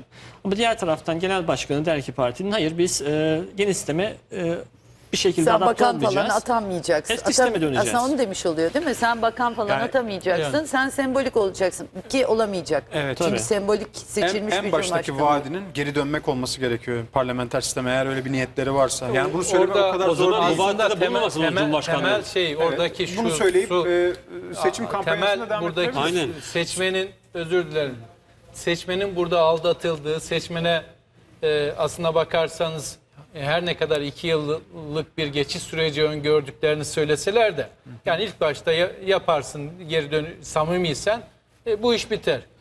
E, hadi oldu ki Muharrem İnce Cumhurbaşkanı seçildi. Muharrem İnce'yi Cumhurbaşkanlığından kimse vazgeçiremez. Çünkü halkın oyuyla gelmiş. Adam zaten e, bir şekilde bir yere gelmek istiyor. İki kez Cumhur, Cumhuriyet Halk Partisi Genel Başkanlığına aday oldu. Siz inanıyor musunuz? Ben e, böyle bir şey olsa Burada o buradan zaman- gideceğine inanmıyorum. Ama buradaki temel problem şu.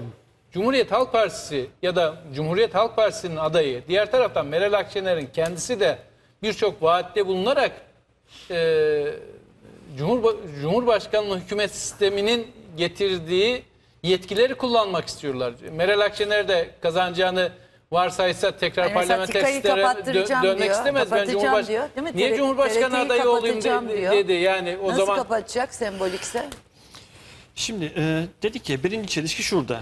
Partiler bir yandan eski sisteme döneceğini söylüyorlar ama bir yandan da yeni sisteme uygun vaatlerde bulunuyorlar. Evet. Böyle, böyle bir sıkıntımız var. Çok güzel. Bir ikinci sıkıntı da şu. e, yine yani Hilmi Bey ile ben burada katılacağım. Eğer e, seçimden sonra ola ki hani e, bu kamu yoklamaları bunun aksini gösteriyor. Ama farazi bir şekilde düşünelim. Muharrem İnce Cumhurbaşkanı oldu. Bu sefer Türkiye'deki fay kırılması artık partiler arasında değil, parti içerisinde, içerisinde olacaktır. Çünkü eski sisteme dönmeye çalışan parti eliti, elitiyle yeni sistemin kazananı olan lider arasında bir çatışma yaşanacaktır. Bu kaçınılmaz.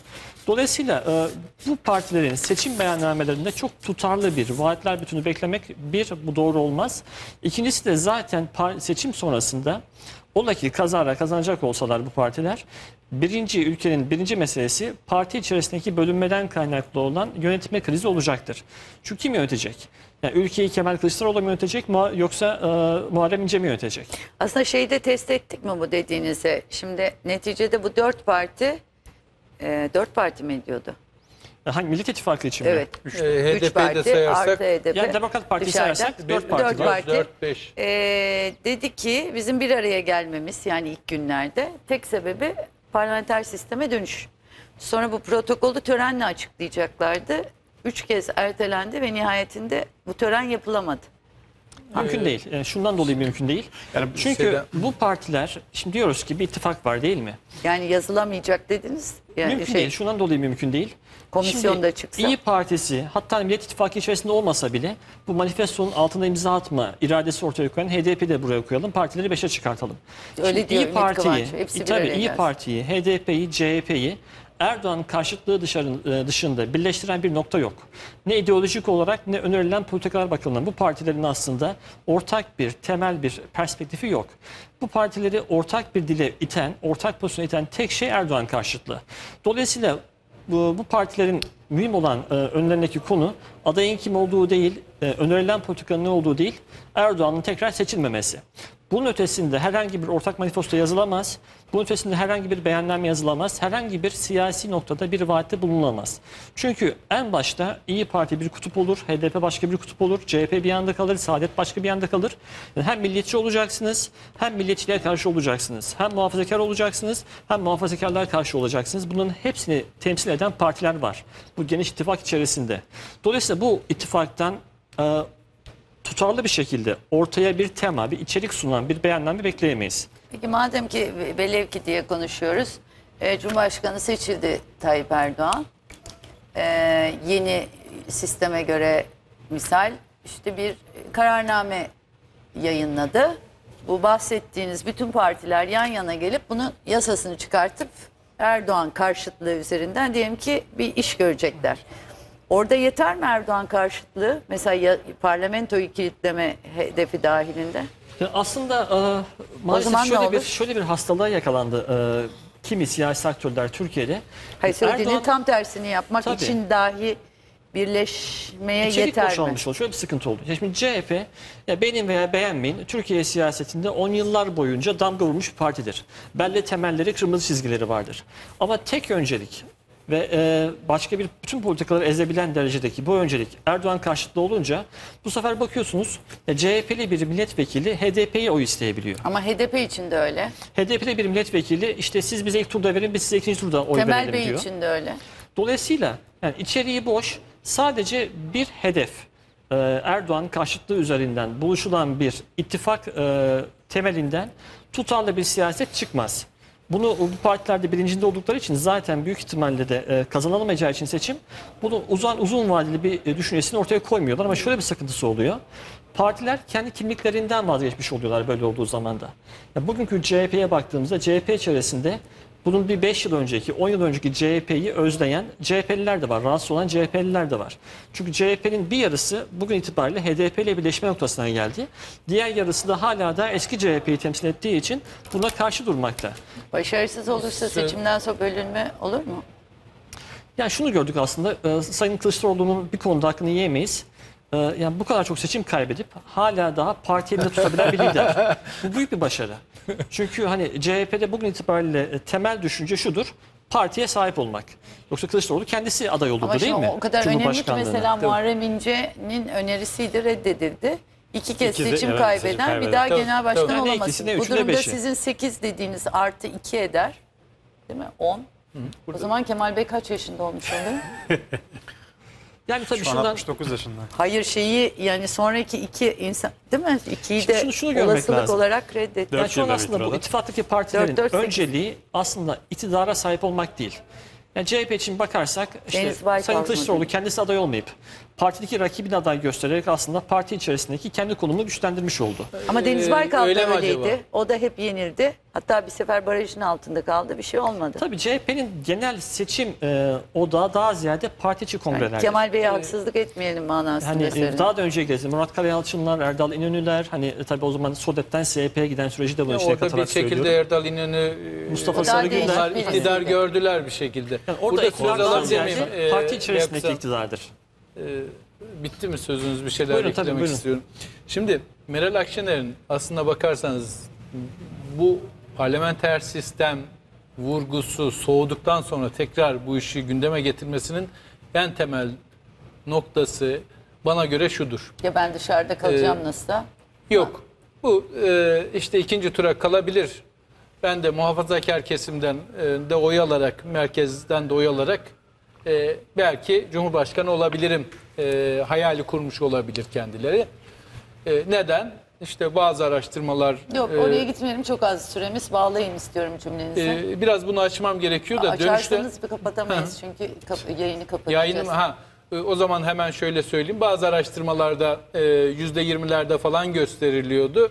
E, bazı hatta daha yukarıda falan cum- parlamenter pa- sisteme geçiş sebebi. Bir cümleyle söyleyin, kapatıyoruz. İkincinin o olacağını söylü- e, söylüyorlardı. İkinci olabilirse ciddi anlamda e, kendi tabanını ve partisini büyütebilecekti. Ancak bunu bunun olmadığını e, görünce tekrar parlamenter sistem noktasına geri Yani dönmek zorunda kaldı. seçilemezsem şimdiden bir Evet. tedbir alayım diyor. Çünkü yoksa partiyi evden yönetemem diye Tabii. düşünüyor. Evet bütün konuklarıma çok teşekkür ediyorum. Soruyorum da 19 gün kala değil mi seçimlere? Ee, son gelişmeleri değerlendirdik. Haftaya salıya görüşmek üzere. Haftaya perşembeye görüşmek üzere. İki gün sonra, bir gün sonra.